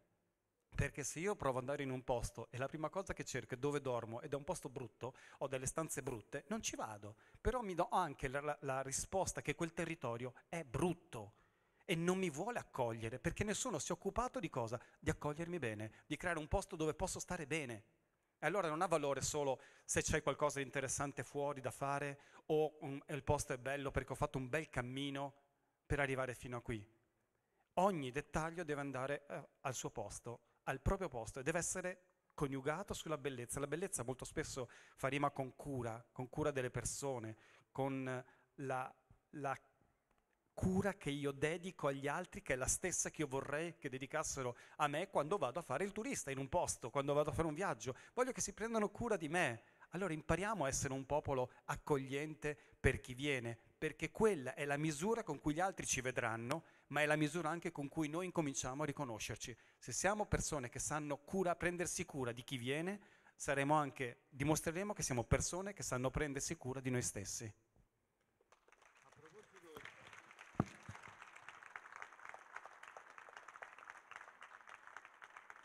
È stata è veramente una strana coincidenza questa della trasmissione che va in onda, quindi magari qualcuno l'ha visto in tv, poi se lo ritrova in piazza. E e della trasmissione che è andata in contemporanea. Uh, Emilio Casalini è anche, uh, lui è veneto di origini, di, è nato a Padova e uh, vive a Roma, però da qualche tempo ha, um, a che fare con la Puglia perché ha un, una relazione con, una, eh, con la sua compagna che è pugliese, quindi lui viene con frequenza in Puglia, con, diverse volte non in provincia di Foggia, loro vivono tra Bari e Taranto, però lui attraversa la Puglia. E la Puglia è bella o brutta? Molti dicono che è bella. Perché è bella la Puglia? Qual è la bellezza intrinseca della Puglia, dei pugliesi, oltre al mare, a quello che noi conosciamo? A proposito di accoglienza. Perché la Puglia è la regione che ha fatto il più grande, il più grande cambiamento rispetto a quello che era vent'anni fa. E lo capisci da come vieni accolto oggi, da quanta trasformazione c'è stata. Non c'è una regione che ha fatto un cambiamento così grande nella mentalità delle persone, perché poi quello che si traduce in, in alcuni eh, vertici massimi, cioè se Borgo Ignazia è considerato il più bel albergo del mondo, lì c'è una scelta imprenditoriale, c'è anche con, con una scelta molto particolare, ma non è solo quello, intorno eh, si arriva ad arrivare a delle, delle, dei picchi di, di, qualità perché intorno c'è tutto un percorso, c'è tutta una terra che cambia, c'è una terra che eh, decide di, di, fare delle scelte anche sulla, eh, sulla, qualità della vita. E quindi eh, io sono... e poi c'è una caratteristica che quello che dispiace a volte ancora, del, però non è una brutta notizia, quello del potenziale inespresso di un territorio, ti può fare arrabbiare quando non sei al, al top, no? Perché dici, porca, porca, miseria, quelli dove sono andati, però in realtà è una grande sfida perché puoi farlo. Puoi farlo, certo. Puoi farlo, cioè, e, e questo, il, il, patrimonio di questa terra non è stato distrutto, è bloccato ancora, è paralizzato, è rallentato da quello che diceva anche il magistrato Laronga poco fa, perché quando mi sono occupato per report del, eh, del del, del parco del, del, del, Gargano, per esempio, lì c'era un tema di abusivismo edilizio che continuava a essere operato e l'abusivismo è qualcosa che facciamo noi, sono, ma ci sono persone che vanno a abitare in quelle case e l'abusivismo che si mangia le terre senza regole è un simbolo di quello che non funziona. Allora, ed è contrario anche a quel turismo di qualità piccolo che produce democrazia dell'economia, democrazia economica perché quando tu sviluppi un piccolo turi- un turismo parcellizzato, ma sano, pulito, quella è una perfetta lotta antimafia. Addio Pizzo parte anche da questo, dalla lotta in Sicilia, dove oggi la parcellizzazione del turismo in mano alle persone e non in mano ai gruppi criminali porta una, un'economia sana, dove, ci, dove, dove le persone possono iniziare a seguire i propri sogni. A proposito di questo, Uh, noi abbiamo parlato adesso di bellezza come il fine da raggiungere. Per raggiungere questo fine c'è bisogno di un cambiamento. Uh, tu nella tua vita professionale hai fatto un cambiamento radicale. A un certo punto eri un giornalista affermato nella redazione più importante d'Italia, dove chiunque di noi che uh, bazzica nel mondo del giornalismo vorrebbe arrivare. A un certo punto tu hai salutato i tuoi colleghi e hai fatto tutt'altro, hai cambiato, hai messo in moto un cambiamento ci sono state paure? Come sono state superate? Che cosa possiamo dire a chi vorrebbe cambiare, magari fa un lavoro che non gli piace e sogna appunto la bellezza? Quali sono le, gli attrezzi pratici, la cassetta degli attrezzi del cambiamento? Per cosa pensi che valga la pena vivere? Che sembra una frase gigantesca, ma in realtà è la quotidianità di tutti noi. Io vivevo, come io, io, davvero vivevo un'esperienza straordinaria, avevo raggiunto il mio sogno, eh, per un giornalista lavorare a Report è un sogno. E qual era il problema? Che io non ero felice.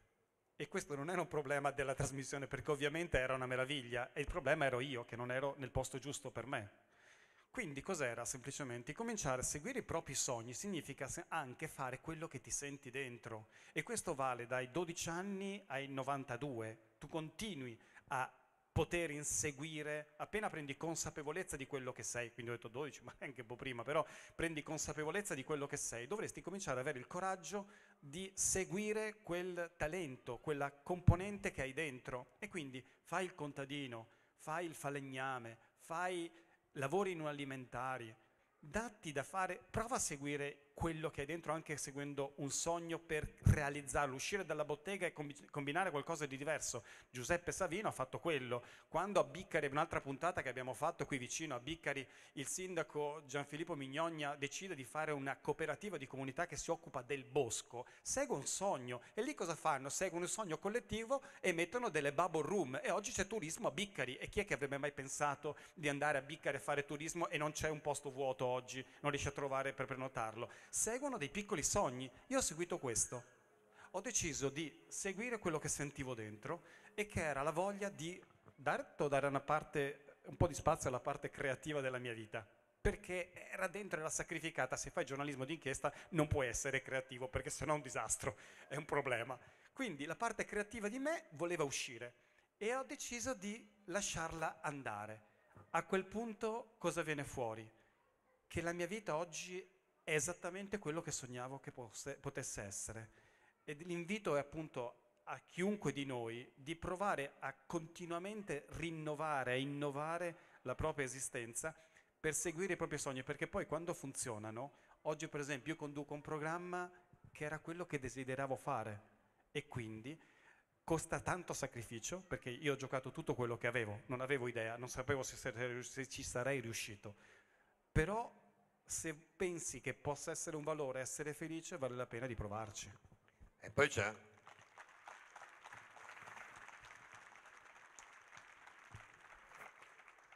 Lui l'ha detta così perché i tempi sono quelli che sono, però eh, questo cambiamento lui l'ha fatto, eh, è iniziato nel 2017 e si doveva concretizzare, pensate un po', a febbraio 2020. Che è successo a febbraio 2020? Eh, è arrivato il Covid. È tutto... Tremati i polsi. Eh sì. E tutto salta, come tante persone che sono partite.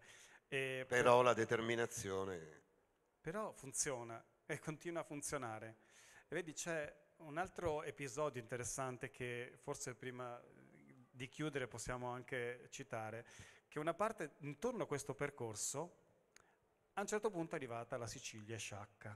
Eh no, io ti volevo però, prima di parlare di Sciacca, io lo volevo eh, introdurre a, agli amici del pubblico perché eh, è l'ultimo tema che noi affrontiamo. Noi abbiamo fatto questo breve percorso come raggiungere la bellezza attraverso il cambiamento, rischiando anche in prima persona, però inseguendo i propri sogni e i propri desideri. Nella dimensione più grande questo può essere un cambiamento collettivo, quindi un cambiamento che può fare un'intera comunità, come può essere la comunità di Stornarella o la comunità di Ortanova, e come lo è stata la comunità di Biccari. Biccari, eh, noi mm, ce l'abbiamo qui vicino, è un modello BIC. Ci sono i comuni vicini sia della provincia di Foggia che della provincia di Benevento che sono invidiosi di Biccari. Non riescono a sopportare questo successo che Biccari sta avendo e ci sono dei dati che veramente sono incredibili come questo piccolissimo comune stia crescendo.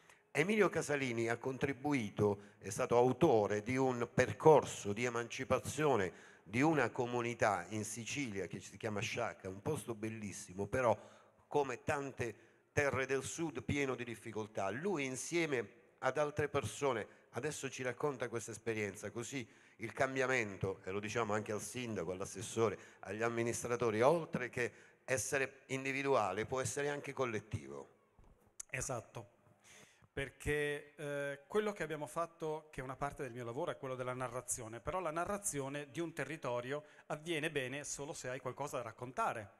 Allora, il primo processo per valorizzare un territorio è quello di far emergere la molteplicità di identità che sono presenti e a volte sono anche nascoste dietro ad un, ad un negozio, dietro a una sala cinesca, dietro a una casa. Dentro quelle case, dentro queste case ci sono tantissime identità che possono essere eh, fatte uscire.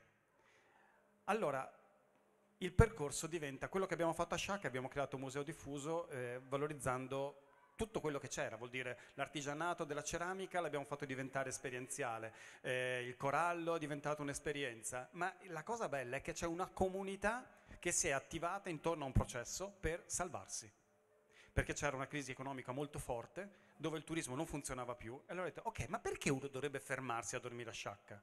Tanto si fermano una notte solo perché scendono all'aeroporto a Palermo, vanno a vedere i tempi di Agrigento, Sciacca a metà strada, siamo nel sud della Sicilia, mi fermo lì, costa meno, la mattina faccio colazione e vado via. Perfetto. E allora però non va bene, assolutamente no perfetto, perché c'è una crisi, perché non funziona il turismo, perché le terme vanno chiuse, eccetera. Dobbiamo fare in modo che le persone vengano, si fermano, si fermino. Ok, perché dovrebbero farlo? è nato questo progetto del Museo dei Cinque Sensi, in cui abbiamo incominciato in sette. Oggi sono 150 soci, di cui 28 strutture ricettive su 30 del paese. bar, ristoranti, commercianti, negozi, i negozi che diventano infopoint. Infopoint di cosa? Di quello che c'è, dell'identità.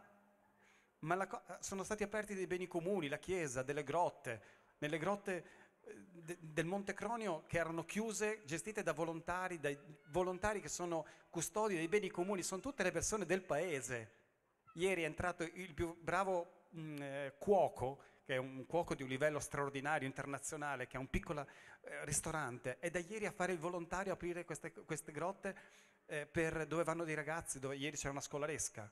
È una comunità che si attiva e ognuno si prende la responsabilità di fare la propria parte e smette di delegare, smette di dire eh, ma il governo, la burocrazia, i problemi che ci sono. Certo Però voi li avete sono. superati perché avete Si avuto anche dei finanziamenti. Il finanziamento iniziale è stato di 120.000 euro, ma oggi stiamo sviluppando, la settimana scorsa sono divent- ve- arrivati eh, 50 smart workers da tutto il mondo, perché c'era una ditta, una multinazionale, e hanno, sono venuti perché hanno un posto accogliente. Solo in una settimana ho creato un impatto di 58.000 euro diretto a quello che hanno speso e altri, e altri 40.000 euro, per cui un impatto di 100.000 euro solo perché sono venute queste persone e sono state lì una settimana. Questa è economia che funziona, che gira, che si diffonde tra tutti quanti. Ma cosa hanno trovato? Una comunità che accoglieva, gente che se andava per stare, dice, eh, vieni qua, indonesiano, c'erano americani, russi, c'era di tutto, arabi.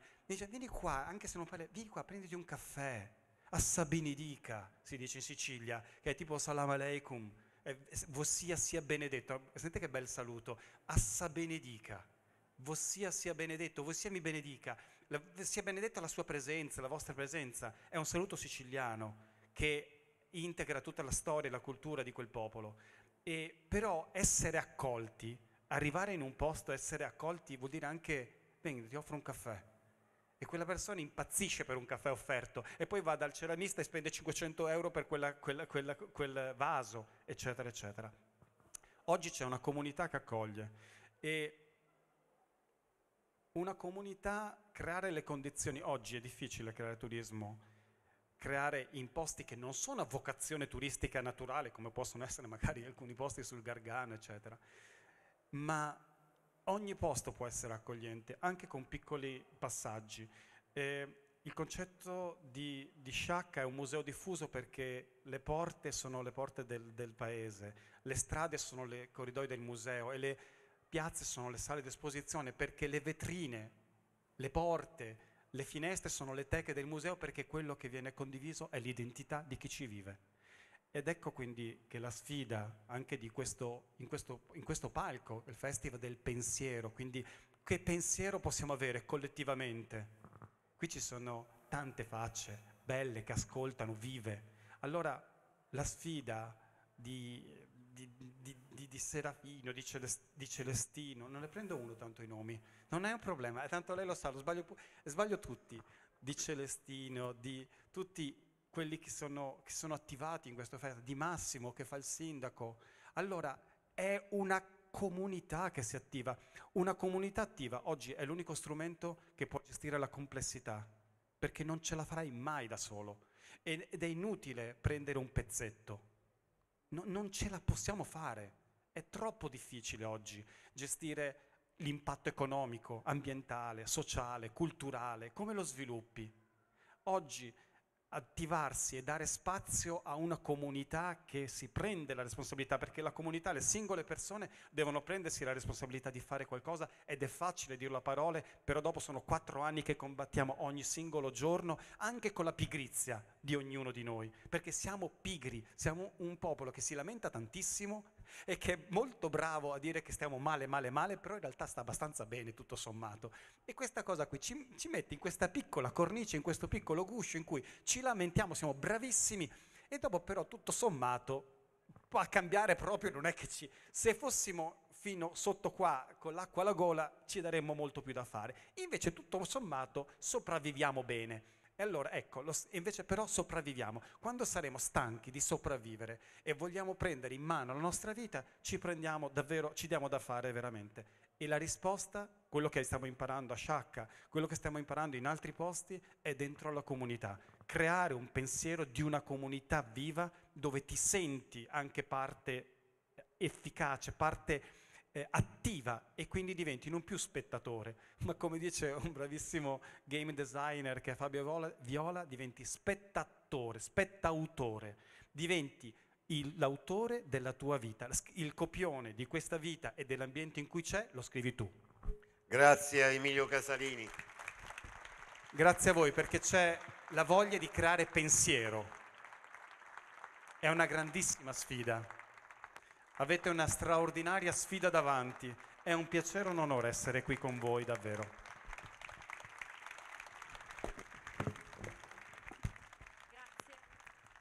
Prova, vediamo, ci siamo. Grazie a voi, è stato bello sentir parlare di bellezza perché abbiamo cominciato, in realtà è vero, così il nostro incontro, quindi abbiamo parlato di tutti i lati di, di quella che è la nostra terra e di quali sono le nostre radici, quindi anche parlare di bellezza e di cambiamento è veramente tanto importante, quindi per noi è stato veramente anche un onore. Grazie, grazie. E a questo punto, visto che abbiamo parlato di bellezza, io vorrei cominciare con, uh, con, il premio Radici e consegnare il secondo premio della serata a Luca Marsicotevere, che voglio chiamare qui sul palco. Marsico Vetere, vero? ecco. Tu sei campione italiano ed europeo giovanile dei 400 metri piani. Complimenti, quanti anni hai? 17, ne faccio 18 a um, ottobre. Eh, io vorrei sentire un altro applauso allora fortissimo e a consegnare il premio sarà Rossana Croce, presidente della Proloco. Veramente complimenti, 17 anni. Vi passo, vi passo prima la parola.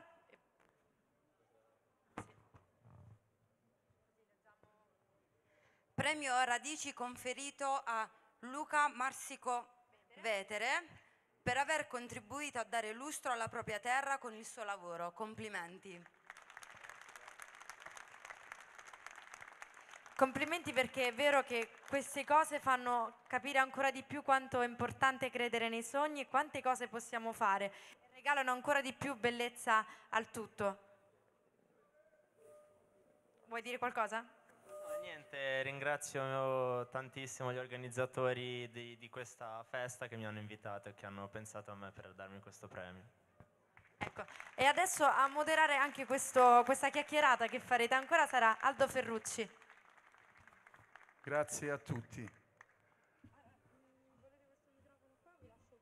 Sì, qual- un microfono che funziona. funziona, no? va bene. Lì c'è, lì c'è un allora, altro così, così Luca, se vuoi rispondere. Ti saluto si sente? Buonasera a tutti, grazie ragazzi. Allora, l'applauso è per Luca. Eh. Quando gli amici eh, mi hanno chiesto, gli amici eh, di sempre gli, eh, ed organizzatori del, dell'evento, di moderare Luca, eh, sono stato felicissimo perché t- sanno benissimo quanto amo lo sport. Quindi Luca, io ti seguo, eh, ci siamo conosciuti oggi ma uh, per un figlio della nostra terra che è, diventato l'anno scorso campione italiano in quel di Milano nel, nella categoria allievi, che poi ha raggiunto il sogno, sai, della nazionale, veramente devi sapere che in tutti i tuoi allenamenti, in tutte le tue gare, c'è Stornarella sempre con te.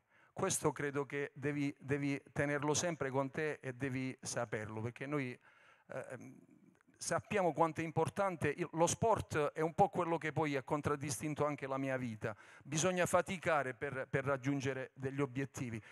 Quindi ti chiedo, anche perché ho visto anche i tuoi tempi nei 100, nei 200, sei un velocista, i 400, il giro della morte, è la, la disciplina di velocità in pista più faticosa in assoluto, ragazzi.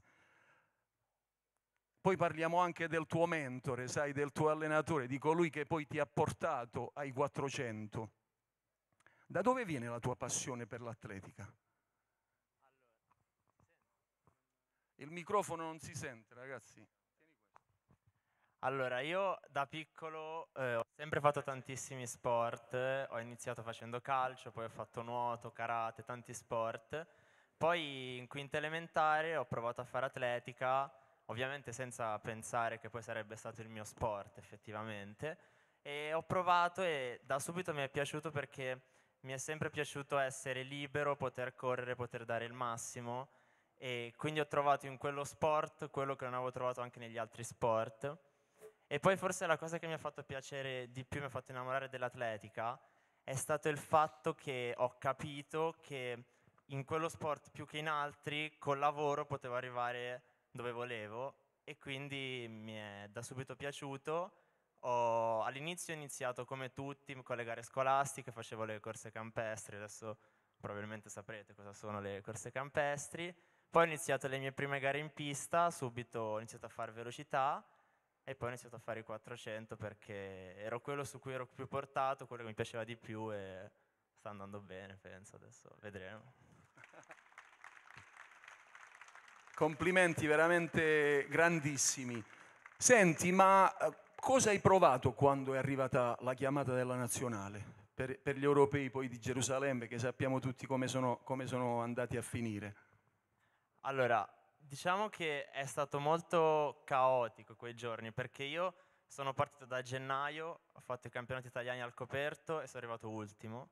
Quindi quando è iniziata la stagione estiva, le gare all'aperto, ho iniziato a fare dei risultati che non mi aspettavo di fare, però in poco tempo, da maggio che ho fatto le prime gare a giugno che ho vinto gli italiani, è passato solo un mese molto intenso e poi dopo una settimana è arrivata la chiamata in nazionale che pensavo sarebbe arrivata dopo che avevo vinto gli italiani, però quando è arrivata è stata veramente emozionante perché cioè, se, io pensavo, se io penso che solo due anni fa guardavo in tv le persone con la maglia della nazionale, dicevo chissà cosa si prova, chissà cosa, cosa fanno nella loro vita per poter fare quello.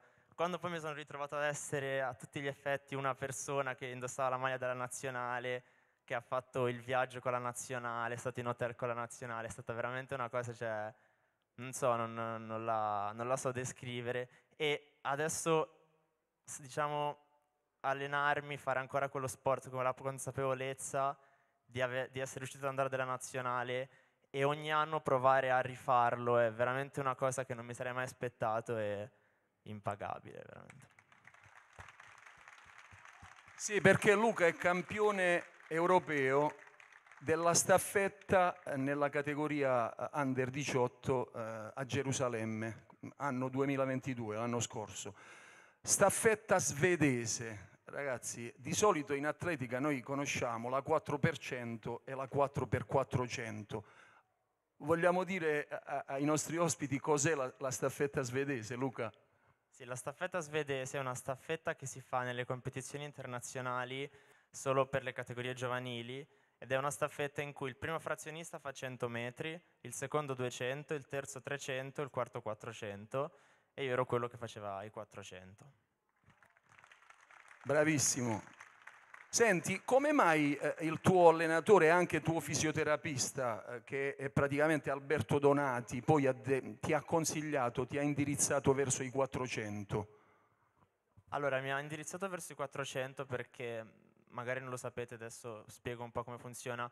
Quelli che fanno i 400 devono avere una buonissima dote di velocità, perché comunque è una gara breve, solo un giro, però devono riuscire a mantenere questa velocità per il più tempo possibile.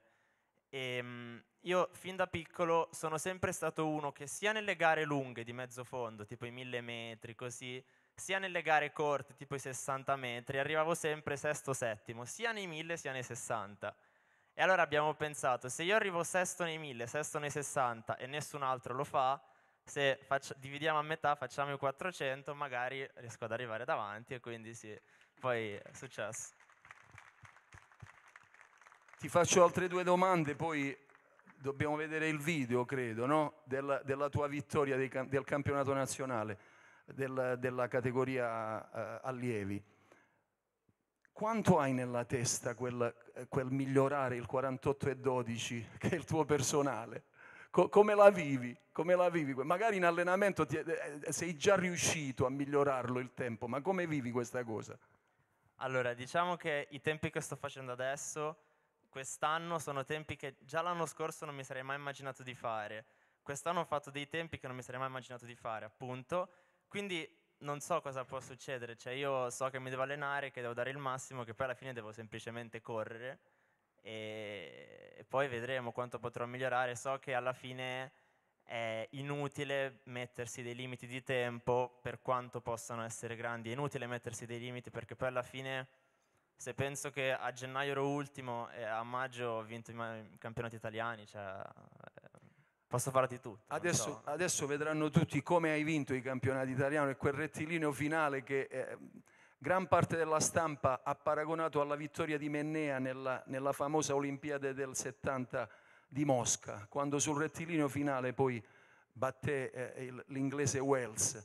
Uh, ultima domanda prima di vedere il, il video. Um, il tuo idolo. Io, io pipiù o meno l'ho capito, eh? perché ti ripeto, seguo l'atletica da sempre, quindi ho, ho, ho visto anche quando è stato battuto il record, il record, di un grandissimo campione dell'atletica mondiale che portava il nome di Michael eh, Johnson, che era campione nei 200 e nei 400, dove ha vinto di tutto e di più. Chi è il tuo idolo?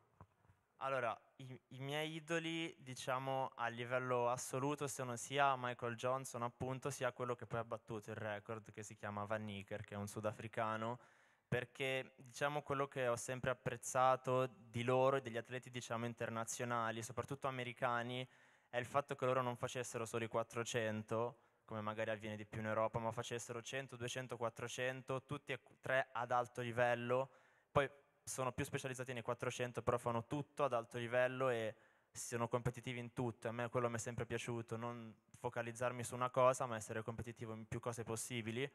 Quindi il mio idolo, se dobbiamo dire un nome, è Michael Johnson, perché poteva Grandissimo. Drabbit lo chiamavano, il coniglio praticamente, tradotto in inglese. Vogliamo vedere la gara di, eh, di, Luca perché credo che è veramente bello da vedere. Quel rettilineo finale l'ho, l'ho guardato tantissime volte e mi emoziona sempre.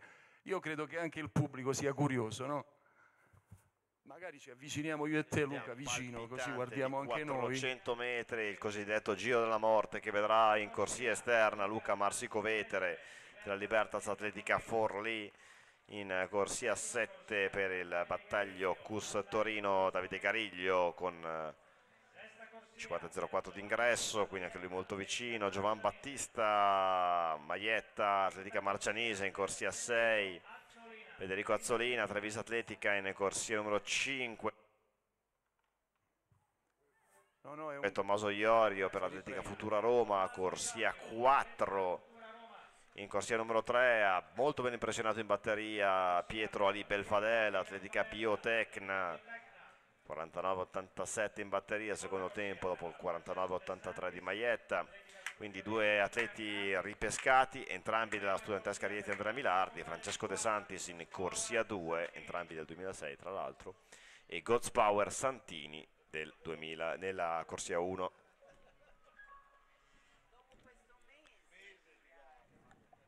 Santini in 1, De Santis in 2, Ali Belfadel in corsia 3, Iorio in corsia 4, Azzolina in corsia 5, Maietta in corsia 6, Cariglio in corsia 7, Marsicovetere in corsia numero 8. Vanno sui blocchi, una finale di 400 metri tutta da vivere, mentre l'asticella nell'alto sarà quota 1,95. Finale molto aperta nella caccia al titolo tricolore al coperto ha vinto De Rosa che qui si è ripetuto ma sugli 800 metri. La finale di questi 400 metri piani maschili con uh, gli ottimi avvii all'esterno sia di Cariglio sia di Maietta ma molto bene anche in corsia 4 Iorio che ha impostato una gran curva nella fase iniziale prova a prendere il punto di riferimento di Belfadel eh Iorio in prima posizione, bene le corsie esterne, Maglietta Cariglio e Marsico Vetere con Libel Fadella all'interno che prova a non perdere troppo terreno da Iorio, Iorio al comando con uh, all'esterno in corsia 7 Gariglio che si sta comportando benissimo al pari di Maglietta ed è Gariglio a presentarsi con Iorio in testa sulla retta finale ma è una gara equilibratissima e forse proprio Davide Gariglio per il battaglio Custorino Gariglio Iorio, Gariglio Iorio, Iorio ma è Marsico Vetere all'esterno a beffare grandissimo tutti, probabilmente con 49-65 Il tempo non è... Avete capito di cosa parlavamo? grandissimo, grandissimo. E io vado dall'altra parte. Ma sì, è il bello della diretta, funziona sempre. Va bene, intanto grazie Aldo e Luca. Grazie, Sharon. Complimenti, prenditi ancora questo applauso veramente forte, strameritato. E, è bello vedere nei tuoi occhi quella gioia quando racconti di quello che fai, è veramente bello e spero che, che sarà sempre così anche in futuro e di- ti auguro di continuare a fare quello che fai E- e andrà sempre bene. Vole- volevo dire eh, quello che ti ho detto all'inizio, ricordalo sempre. Eh, questa è una comunità molto unita e compatta, quindi quando ti allenerai, quando farai le gare, devi sapere che 5.000 persone saranno nel- nella tua testa, nel tuo cuore e nelle tue gambe. Va bene? Grande Luca. Grazie. Grazie Luca, ancora tantissimi complimenti. E siamo arrivati all'ultimo ospite della serata, intanto io voglio salutarvi, me lo presento prima, Matteo Angioli e a moderare l'incontro saranno gli ideatori del festival, quindi Angelo Costa ritorna sul palco e Celestino Di Corato. E, mm, prego, prego. Matteo Angioli. Ho sbagliato? Matteo Angeli, ovviamente ormai per i cognomi, niente anche prima con Luca, va bene, sono partita. E vi ricordo anche, vi saluto e vi ricordo l'appuntamento di domani per il Festival del Pensiero, secondo appuntamento. Ciao, buona serata e buon proseguimento. E a questo punto ne ho due. e non so se, se è partito. Vi lascio anche questo, dai, nel caso.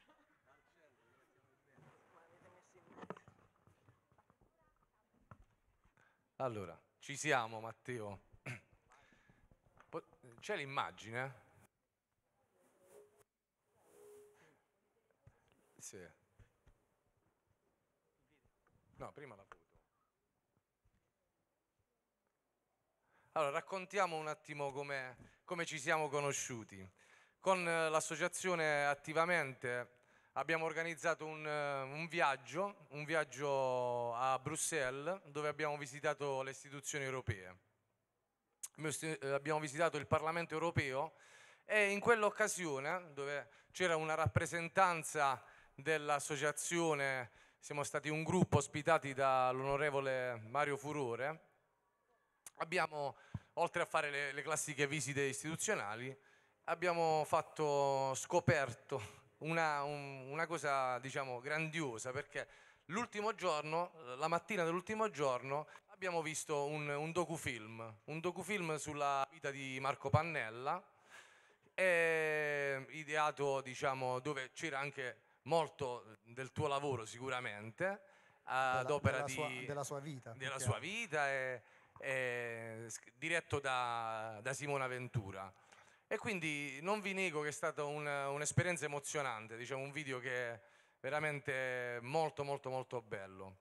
E quindi partendo proprio da, da qui, eh, prima di entrare diciamo, nei dettagli della, della tua storia, perché tu sei stato vicino a Marco Panella ess- essendo mh, suo diciamo, assistente negli ultimi qui- diciamo, 15 anni, 15 15 anni, anni, sì, 15 circa anni. 15 anni. Marco Pannella ha rappresentato veramente, noi l'abbiamo intitolata alle radici, le radici del pensiero libertario, perché Marco Pannella è nato nel 1930 e quindi diciamo, ha vissuto gran parte della storia repubblicana proprio seguendo proprio tutte le tappe, perché Pannella è entrato in politica più o meno negli anni 50, prima nel Partito Liberale, se non, se non erro, poi ci fu una scissione dal Partito Liberale e Pannella insieme ad altri costituì questo partito, il Partito eh, Repubblicano, che ha una storia, diciamo, si può dire che è il partito più, più antico, perché dal 56, se Di non mi sbaglio. sì, dal 55, dal dicembre del 1955 fino ad oggi che cambiando eh, forma, cambiando statuti, però è sempre quello, il Partito Radicale. Allora, io prima di iniziare con la prima domanda, volevo chiedere, diciamo, alla regia se era possibile proiettare il, il primo video. Noi stiamo lottando perché ci sia libertà della donna di concepire davvero, con amore, non di avere questa condanna.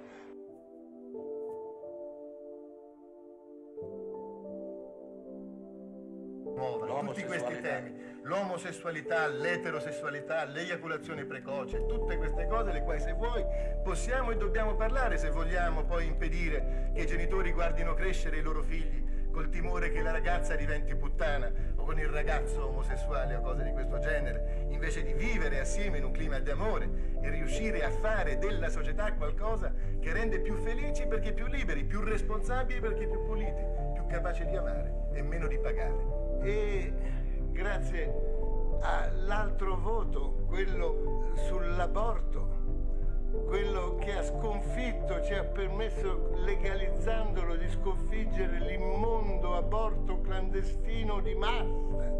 Devo dire che sull'aborto stiamo realizzando una delle più grosse truffe per le quali o mi mettono in galera anche me o tirano fuori anche gli altri per trovare altre vere soluzioni. Marco, io Questo devo tra dire- l'altro è un regalino così. Secondo me mi ha regalato una targa col numero del, No, del qui, qui ti ho, re- ti ho regalato il mio arresto perché sono 200 grammi di hashish.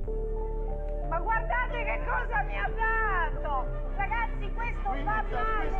Questa è la morte dei ragazzi! In nome dei ragazzi che per farsi una fumata o prendere la loro triste dose, come il padre e il nonno prendono la triste dose d'alcol, io dico con loro a voi, in nome e con amore, no alla droga, no alla droga di Stato! Ha paura di noi? No, ha paura della gente. Sanno che se la gente sui telegiornali ogni sera sentissero quello che noi facciamo davvero e proponiamo, la gente, non il 3%, ma il 50% forse sarebbe con noi come sul divorzio furono il 60%. E allora, per paura della gente, via la democrazia, informazioni truccate.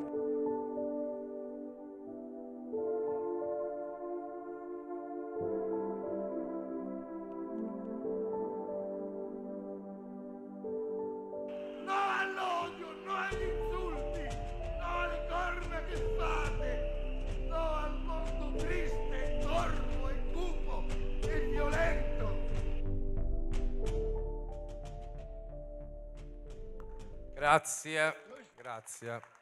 Ci risediamo. Matteo, la sensazione che si ha è quella che nonostante diciamo, il partito radicale non abbia mai raggiunto cifre importanti alle, elezioni politiche, tranne forse una volta ne abbiamo parlato telefonicamente nel 99 alle elezioni europee dove prese una, una bella, una bella percentuale, Sì, e mezzo. l'8,5%, sì, ricordo bene. Ma Marco Pallenna sia riuscito ad incidere nella vita politica, nonostante una scarsa rappresentanza, più di tanti altri politici che hanno scaldato diciamo, le, le sedie, gli scranni di Montecitorio oppure di qualsiasi altra istituzione nazionale o europea. Quindi mi piaceva ehm, parlare con te di tutte le battaglie. Lo so che sono tante, ci vorrebbero veramente 24 ore, ma cerchiamo di dare anche diciamo, a chi magari anche per memoria non riesce diciamo, a ricordare i- le principali tappe proprio di... e poi magari con Angelo affrontiamo altri ragionamenti. Grazie. Intanto partiamo, poi vediamo come va. La prima tappa innanzitutto è quella del ringraziamento a te, ad Angelo, a, a Michele, a, a Vincenzo che purtroppo non è potuto essere qui stasera perché è un invito veramente che ho accettato subito per diversi motivi. Il primo è che parlare di Marco Pannella e di pensiero è eh, una cosa naturale perché Marco è uno- era una persona che il pensiero, nel pensiero eh, ci credeva e lo coltivava e invitava a coltivarlo e con esso naturalmente la libertà di pensiero, perché altrimenti eh, il pensiero unico non funziona, soprattutto nel Partito Radicale. Ehm, l'altra ragione è il titolo, la le radici. Le radici. Marco, quando nel 55-56, da dicembre e gennaio, a cavallo di quegli anni, fondò con altri storici, esponenti liberali e qualche matto radicale giovane il partito radicale, la motivazione fu quella di voler andare alla radice dei problemi. E questo è stato quindi il, il- il- poi il filo che ha seguito e che ha eh, tessuto in tutte le sue azioni, perché come stavi appunto dicendo, le battaglie sono state tante e tutte affrontate eh, a volte in una ehm, volta sola, cioè in, in una con, in, concentrandole in poco tempo, come fu nel caso dell'aborto, nel caso del divorzio, altre invece ehm, insieme, ma ognuna andando re- letteralmente alla radice del problema senza lasciarsi andare a facili slogan o a eh, battute da pochi minuti, perché Marco, come forse ricorderete, era abbastanza anche logorroico e lui era il primo a, a riconoscerlo. Quindi ehm, lui ha iniziato di fatto, e questa è stata le, la vera ricchezza, credo, negli anni 50 si sono trovati, e soprattutto negli anni 60, si sono trovati 5-10 giovani entusiasti, interessati alla politica, alcuni di loro discretamente facoltosi e hanno creato l'entusiasmo, hanno coltivato l'entusiasmo che gli ha permesso di fare quello che poi è stata una storia durata 50 anni direi. Un entusiasmo per la politica e per le persone, perché Marco in particolare ha fatto quello che ha fatto perché eh, gli interessavano le persone, non c'è altra spiegazione. A lui interessavano le persone, le storie, gli individui, le comunità, le tradizioni, le culture diverse e si nutriva di queste persone che poi lui aveva piacere di incontrare. Naturalmente, te l'ho già detto, mi pare, se avesse avuto a disposizione tre ore, lui si fermava con chiunque per strada e gli dava tre ore quando poteva, perché era quello che gli piaceva fare. Lui stava bene stando con le persone e facendo, come dire, provando a fornire soluzioni per i problemi che eh, viveva con le persone, con noi. Questa era, era, era, la sua forza che ha riuscito a mantenere eh, sempre, direi, in ogni contesto, in ogni tempo. Marco era così eh, nelle istituzioni, era molto diretto, era molto schietto, autentico, era ehm, poco diplomatico, ma rispettoso delle istituzioni e delle forme. La forma, come diceva lui, è anche sostanza. E riusciva ad esserlo nelle istituzioni, all'alimentari, al Quirinale, in carcere, ovunque. Io non posso che essere, mh, considerarmi eh, no privilegiato di più ad aver potuto avere ehm, quello che io lo definivo un Virgilio, perché per me è stato Virgilio, non che io sia Dante, eh.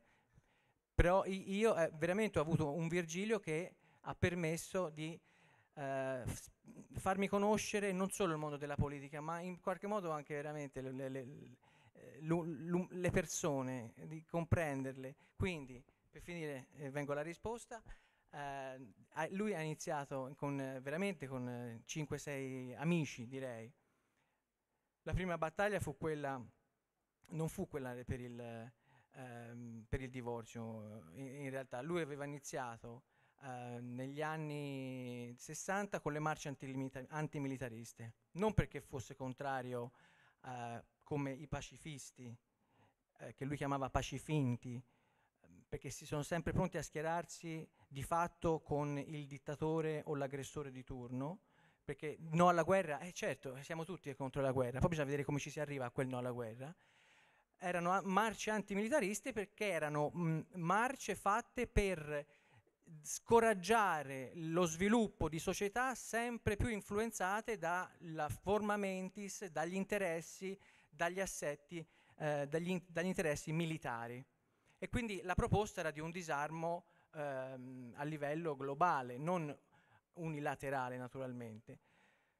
Poi è seguita la battaglia sull'aborto, c'è stata la, la battaglia per il voto ai diciottenni, la battaglia per la riforma del diritto di famiglia in generale, la battaglia per l'aborto, eh, molte anche battaglie a livello ehm, istituzionale, cioè per evitare che venissero stravolti i, i eh, regolamenti parlamentari che negli anni hanno di fatto tolto sempre di più la parola al parlamentare, snaturando quello che è il ruolo del parlamentare, ammazzando il dibattito, ammazzando quindi la libertà di pensiero perché purtroppo il dibattito ne ha risentito. L'abuso del, dei decreti legge, poi le battaglie per la giustizia giusta, eh, la storia di Enzo Tortora e poi potremmo continuare ancora, ancora avanti fino, fino a pochi anni fa, perché fino agli ultimi giorni è stato diciamo, una, un- ci ha messo il corpo, diciamo, c'è una bella frase di, di Bertinotti che l'ho, vista proprio quando abbiamo, abbiamo visionato il, il video, che dice Marco fa politica tutto, cioè anche con il corpo e quindi le, il modus, cioè proprio eh, l'idea dello sciopero della sede, dello sciopero della fame è, è una cosa diciamo che, che è una novità, una novità. Non dimentichiamo che eh, ha voluto dedicare eh, anche gli ultimi giorni della sua vita all'impegno politico, al diritto della conoscenza. Abbiamo visto nel docufilm presentato dalla, dalla Ventura anche un Marco Pannella inedito, assolutamente inedito. Adesso vedremo magari eh, con il prossimo video qualche, qualche piccolo frame diciamo, di, di- di quei giorni là in cui Marco eh, ovviamente era presente con lui notte e giorno, giusto?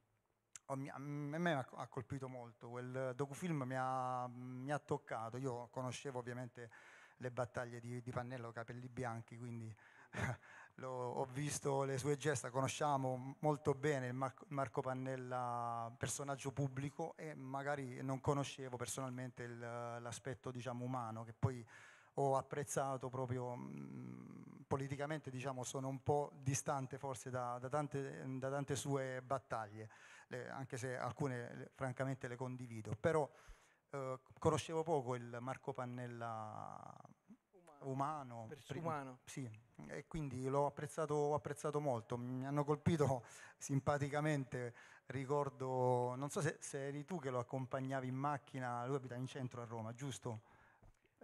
In centro di solito in città prendeva il taxi, si muoveva in Però taxi. ho, sì. ho- visto che c'era un video fortissimo dove eh, stava attraversando delle strade del centro di Roma e mm, ovviamente c'erano i pedoni, non, non- non si poteva passare con la macchina e lui anziché far suonare il clacson per fargli spostare eh, si eh, affacciava dal, dal finestrino e, e- e lanciava E dice- e slogan e diceva buongiorno, Buongiorno. se era mattina, oppure buonasera, buongiorno, grazie, grazie, e intanto batteva sullo sportello con la Esatto, macchina sì, per farsi per largo, farsi largo, nelle per- fo- nel- per non disturbarli. per- perché lui Aveva- abitava a Via della Panetteria, che era proprio a, a due passi dalla Fontana di Trevi, quindi c'è sempre dimostra una, una certa folla incredibile. sensibilità. e Sì, perché un diceva certo io non rispetto. voglio che tu suoni il clacson perché è maleducazione, né voglio che tu sgassi troppo con il motore, no? che tu faccia rumore con il motore, perché e allora eh, si era trovato questo metodo che se ci pensi anche, è anche simpatico, No, certo ma è che è buffo, ma è gentile, no? Bu- buonasera, grazie, Ma grazie. richiama, richiama proprio, gente- proprio quello che hai detto. Lui piaceva stare con le persone, non voleva assolutamente infastidirle. Sì, direi di vedere, di vedere la seconda, il secondo, secondo film.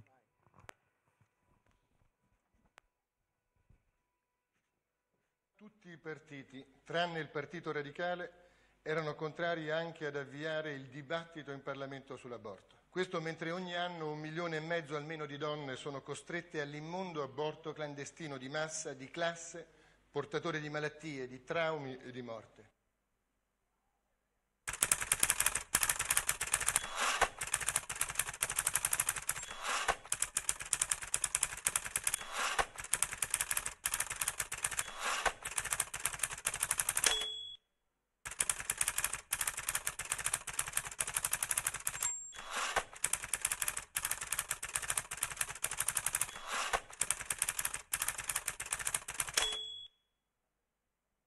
Ogni persona che veniva incontro speciale. Capito perché tutti i giorni ti mettevo una canzone di Vasco? È che non lo so. Eh? C'era. Era una trappola. C'ero già arrivato. Quindi la radicale, per uno fissato con la politica era... Il meglio dei 40 secondi era quando partiva ah fanculo Massimo Voglio raccontare che ricominciamo. Certi ideali, se sono vissuti anche da una sola persona, certo, se gli dà corpo, se gli dà, co- parola, esatto, funzionano. Certo, perché? Perché corrispondono al senso comune, cioè alla storia. Tutti avevano una cosa da dire, Marco aveva ascolto e, parole per tutti. Ha un minuto ancora, papà? Allora, Io questi giorni ogni tanto ti telefono e ti vengo a trovare se non disturbo. Va bene? disturbi. Mi disturbo, allora non vengo. Disturbi. Ti manderò cicchito, ti manderò aiutiamoci tutti insieme per il diritto alla conoscenza. Non c'è mai una fase in cui tu non pensi a iniziative, in cui resti inerte. Però quello che ti voglio dire è che io non ho mai smesso di amarti, anche se non ho mai visto nelle- nei tuoi cortei, nelle tue eh, avventure eh, non solo politiche ma soprattutto sociali ed umane, Renato era con te. eh. Non so che dire. Posso solo piangere. Anch'io, con felicità. La libertà non è star sopra un albero, non è neanche il volo di un moscone. La libertà non è uno spazio libero, libertà è partecipazione.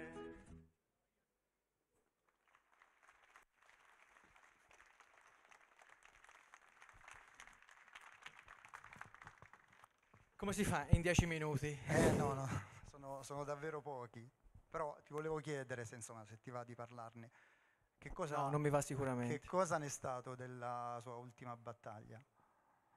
Allora, l'ultima battaglia, eh, diciamo che per, quella- per quanto riguarda eh, il diritto alla conoscenza, che poi è anche eh, una battaglia che è stata sposata da Franco Battiato in particolare, come hai visto, ehm, è un po' un tornare alle origini, perché mi ricollega un po' di cose che ave- avevate detto prima.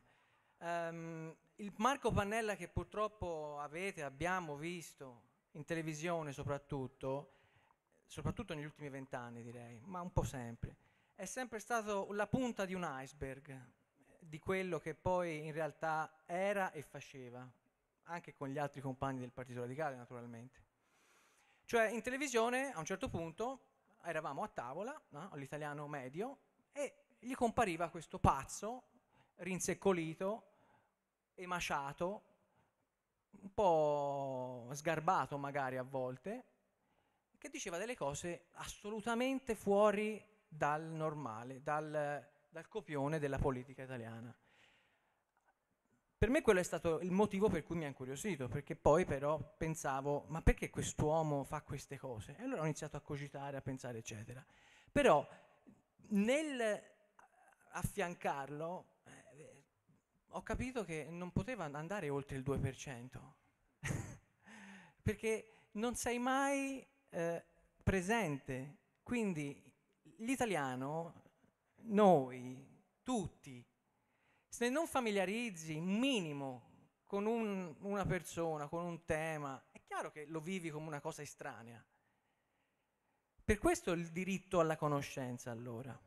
E lui diceva, è come se a un certo punto mandassero in televisione, in audio, un Pavarotti che dà il suo do di petto, no? In quel momento lì.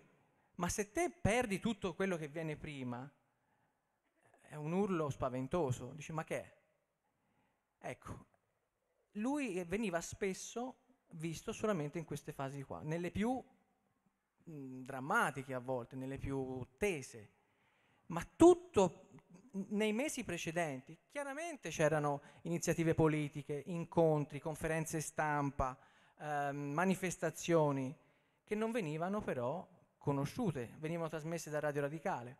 Perché? Perché la RAI, la TV di Stato, è lottizzata.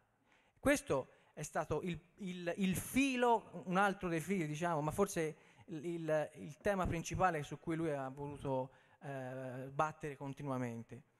Perché un sistema indipendente eh, non, ha- non dovrebbe avere niente a che fare con i partiti. Non dovrebbe avere niente a che fare.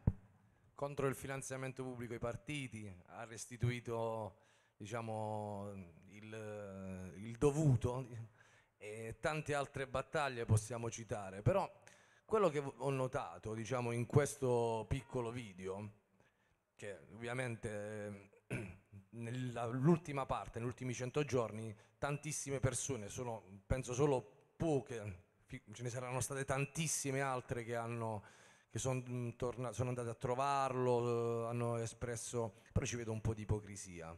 Ci vedo un po' di ipocrisia e secondo me se ne è parlato per troppo tempo. Lui per quello che è riuscito a fare, perché è riuscito a, a, eh, essere, ad anticipare i tempi, perché poi la battaglia sull'aborto, sul divorzio, sulle coppie di fatto, sono tutte state eh, vinte nella storia, sono state vinte nella storia. Quindi il non averlo nominato senatore a vita, secondo me, è stata una, mm, un errore che mostra l'ipocrisia di tantissimi eh, politici. Non so che ne pensi.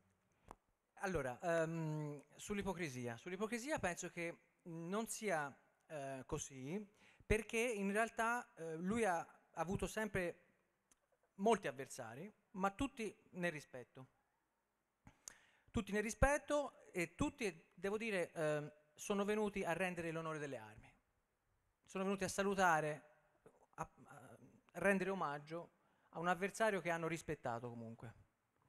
Sì, ricordiamoci anche che ha affrontato tematiche lontane magari anche dal mondo da- della Totalmente. cattolico. dal mondo Avete della- visto Monsignor eppure- Paglia?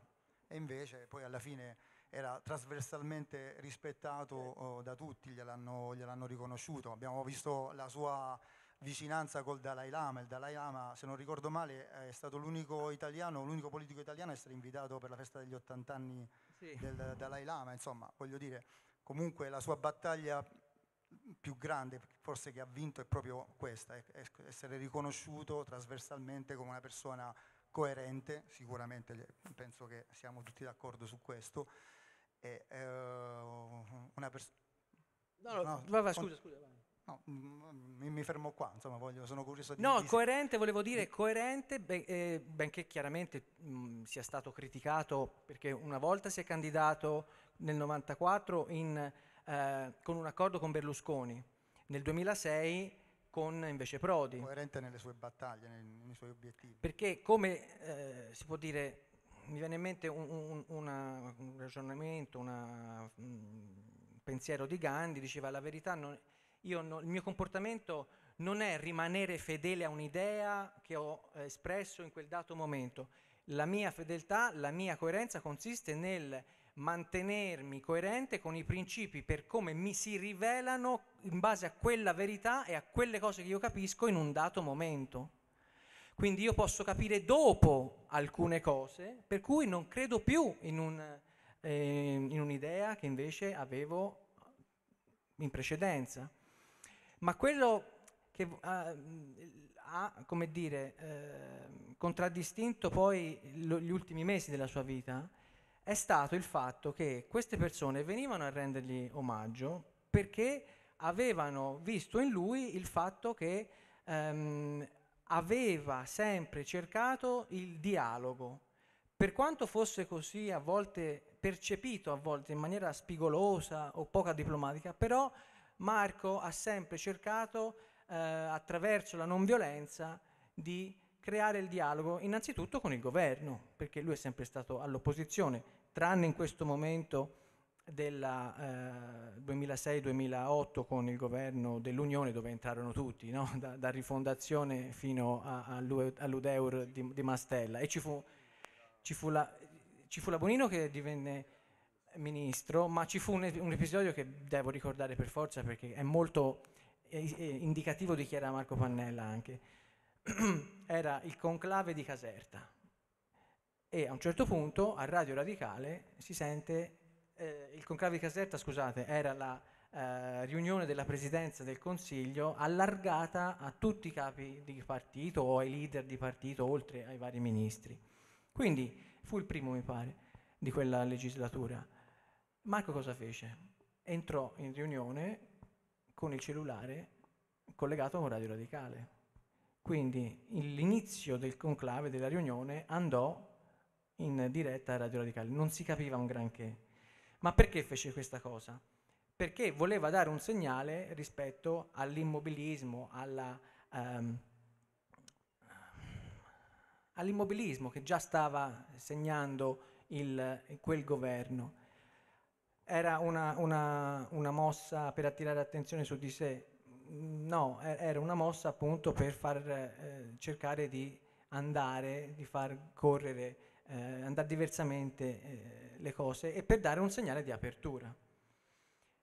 E l'apertura è sempre stata in fondo anche una- un'altra caratteristica. In questi tre mesi, perché li ha voluti vivere così? Perché non si è rinchiuso in casa con noi? Perché ha voluto aprire anche nel momento di sofferenza, anche nel momento più eh, difficile, più delicato, quello in cui ci avviciniamo al trapasso, l'ha voluto condividere, lo ha voluto far vivere al- alle, alle persone. Abbiamo visto alcuni eh, VIP, cosiddetti VIP, ma eh, la maggior parte delle persone che sono venute eh, sono- erano militanti, eh, appunto il, eh, il padrone dell'alimentari, il vicino di casa, er- erano la- e lui era, era contento perché così si alimentava e, e così è riuscito ancora una volta anche a far parlare non di sé, ma delle battaglie che stava portando avanti in quel momento. Io E lo fa ancora. sì, e- infatti volevo dire, io non posso che ringraziarvi perché anche attraverso, come, come ringrazio anche naturalmente Giovanni Terzi e Simona Ventura per aver realizzato il docufilm, perché queste non sono... c'è il rischio che si torni all'autoreferenzialità, "Ah, io ho lavorato con Pannella, io sono... eh, Marco è bravo, è tanto bravo. No, questi sono momenti per me importanti, davvero, perché eh, è un momento in cui posso far conoscere anche tramite voi, tramite l'associazione, la- il lavoro che va avanti in una, in- in una squadra che non ha più il suo Pelé, no? ma che va avanti e che deve andare avanti su tutti i fronti, dalla- dall'informazione democratica alla, alla- situazione delle carceri. Sono, sono molto lieto di quello che ha detto, eh, mi, mi ha fatto molto piacere ascoltare la, la battuta finale del dottor Laronga quando ha detto che le regole sono il fondamento delle nostre società. Le regole erano quello su- e sono quello su cui il Partito Radicale ha basato non statutariamente, lega- legalitariamente parlando e basta suo- la sua azione, ma anche come modo di, di organizzazione dalla, dalla famiglia al condominio al- alla nazione, al paese. E, e quando, e, e que- questo è stato un, un'altra- un altro pilastro di tutte le battaglie che Marco ha condotto. Io- fermatemi ragazzi, perché io qui... Allora, nel 2002, quando ho iniziato a lavorare con Marco, ehm, io arrivai a Bruxelles, al Parlamento europeo, dopo un mese dice bisogna andare, bisogna tornare a Roma. Andiamo, andiamo andiamo a Roma. Riunione, c'era il problema della Corte Costituzionale che non aveva il plenum da almeno due anni, mi pare. Quindi l'organo preposto alla verifica della costituzionalità delle nostre leggi era esso stesso fuori legge, ma non da un, da un- mese, da quasi circa due anni. E lui trovava questa storia in- insopportabile. Allo stesso tempo c'era la Camera dei Deputati che era priva di 13 deputati perché le porcate elettorali, delle leggi elettorali che avevano, eh, avevano preso tutt'altro senso da quello auspicato da Pannella, quindi un misto mh, torbido di proporzionale e uninominale, avevano prodotto la, la mancanza di 13 deputati. E quindi il Parlamento sedeva tranquillamente con 13 deputati in meno. Dice, vabbè, ma che, che- che cambia? Si risparmiano 13 stipendi, non c'è nessuna differenza. Cioè, discorsi no, che poi non hanno nessun impatto in realtà sulla, ma sulla democrazia e sul rispetto delle regole sì. E qui c'è anche l'altro problema della giustizia. Il, dottor Laronga lo sa benissimo quanto Marco Pannella credo abbia, abbia voluto eh, mettere al centro il problema della durata eccessiva dei processi. Non parliamo nemmeno del civile, perché il civile per alcuni presidenti di tribunale probabilmente non esiste nemmeno. E questi sono problemi che hanno un impatto anche sulle nostre comunità, sulla fiducia delle, di noi cittadini nelle istituzioni, perché a quel punto eh, perché devo andare a spendere, a passare vent'anni, aspettare vent'anni per la risoluzione di una causa civile? Oppure il problema delle carceri, anche lì le carceri, la polizia penitenziaria, ma anche la polizia, le forze dell'ordine generale, spesso sotto organico, ma la regola prevede un numero per certi istituti penitenziari di base per le caserme, eccetera. E non sono, ma queste regole, anche queste sono regole che devono essere rispettate e non lo sono. Quindi il rispetto delle regole è tutto lì, ma non in maniera appunto legalitaria, per- in maniera concreta che permetta di- a noi cittadini di dire ok, ce Le- la possiamo le fare. battaglie sono tante, le storie sono, sono tantissime. Io ti voglio ringraziare perché è stato un piacere, un grande piacere. Mi volevi dire qualcosa? Ti, vo- ti volevo dire no, perché ci voleva due cose veloci. Allora, certo. a Luca, che non so se è andato, belli- complimenti a Luca perché- per quello sprint finale, mi ha fatto venire in mente che li ha fregati tutti, no? C'è l'ultima copertina di Ma- prima mh, che- mh, di Rolling Stone, poco prima che Marco morisse, c'è la- una bella foto di Marco con scritto sotto vi fotto tutti, proprio perché lui diceva di fatto abbiamo già vinto, perché Certo. come dicevi prima le Sì, sì. battaglie che poi si sono venute ad incardinare, i risultati di questi ultimi anni hanno effettivamente dimostrato che ci aveva visto lungo. L'altra cosa è che ehm, nel ringraziarti ancora, nel ringraziare tutta l'associazione, ehm, noi ci siamo conosciuti a, a- Bruxelles, io spero che un giorno voi, più prima che poi, potrete andare a Londra e fare in modo, noi Marco lo chiamavamo l'imperatore, noi assistenti al Parlamento europeo, era l'imperatore perché era proprio il top no, dei titoli no, eh, sovrani che si potesse dare. Allora, qualche re ha detto where is Puglia, where is Puglia. Allora, spero che ora ah, tu vada a Londra per farglielo vedere cos'è la Puglia. Ti auguro che possiate portare uno dei Grazie. regali ospiti qui in, in Where is Puglia. Grazie. Quindi davvero eh, vi ringrazio molto. Grazie, grazie a te. Avrei voluto Starei farti- ore a parlare, ma Avrei- eh, credo che non- non, il sindaco ci stacca la corrente.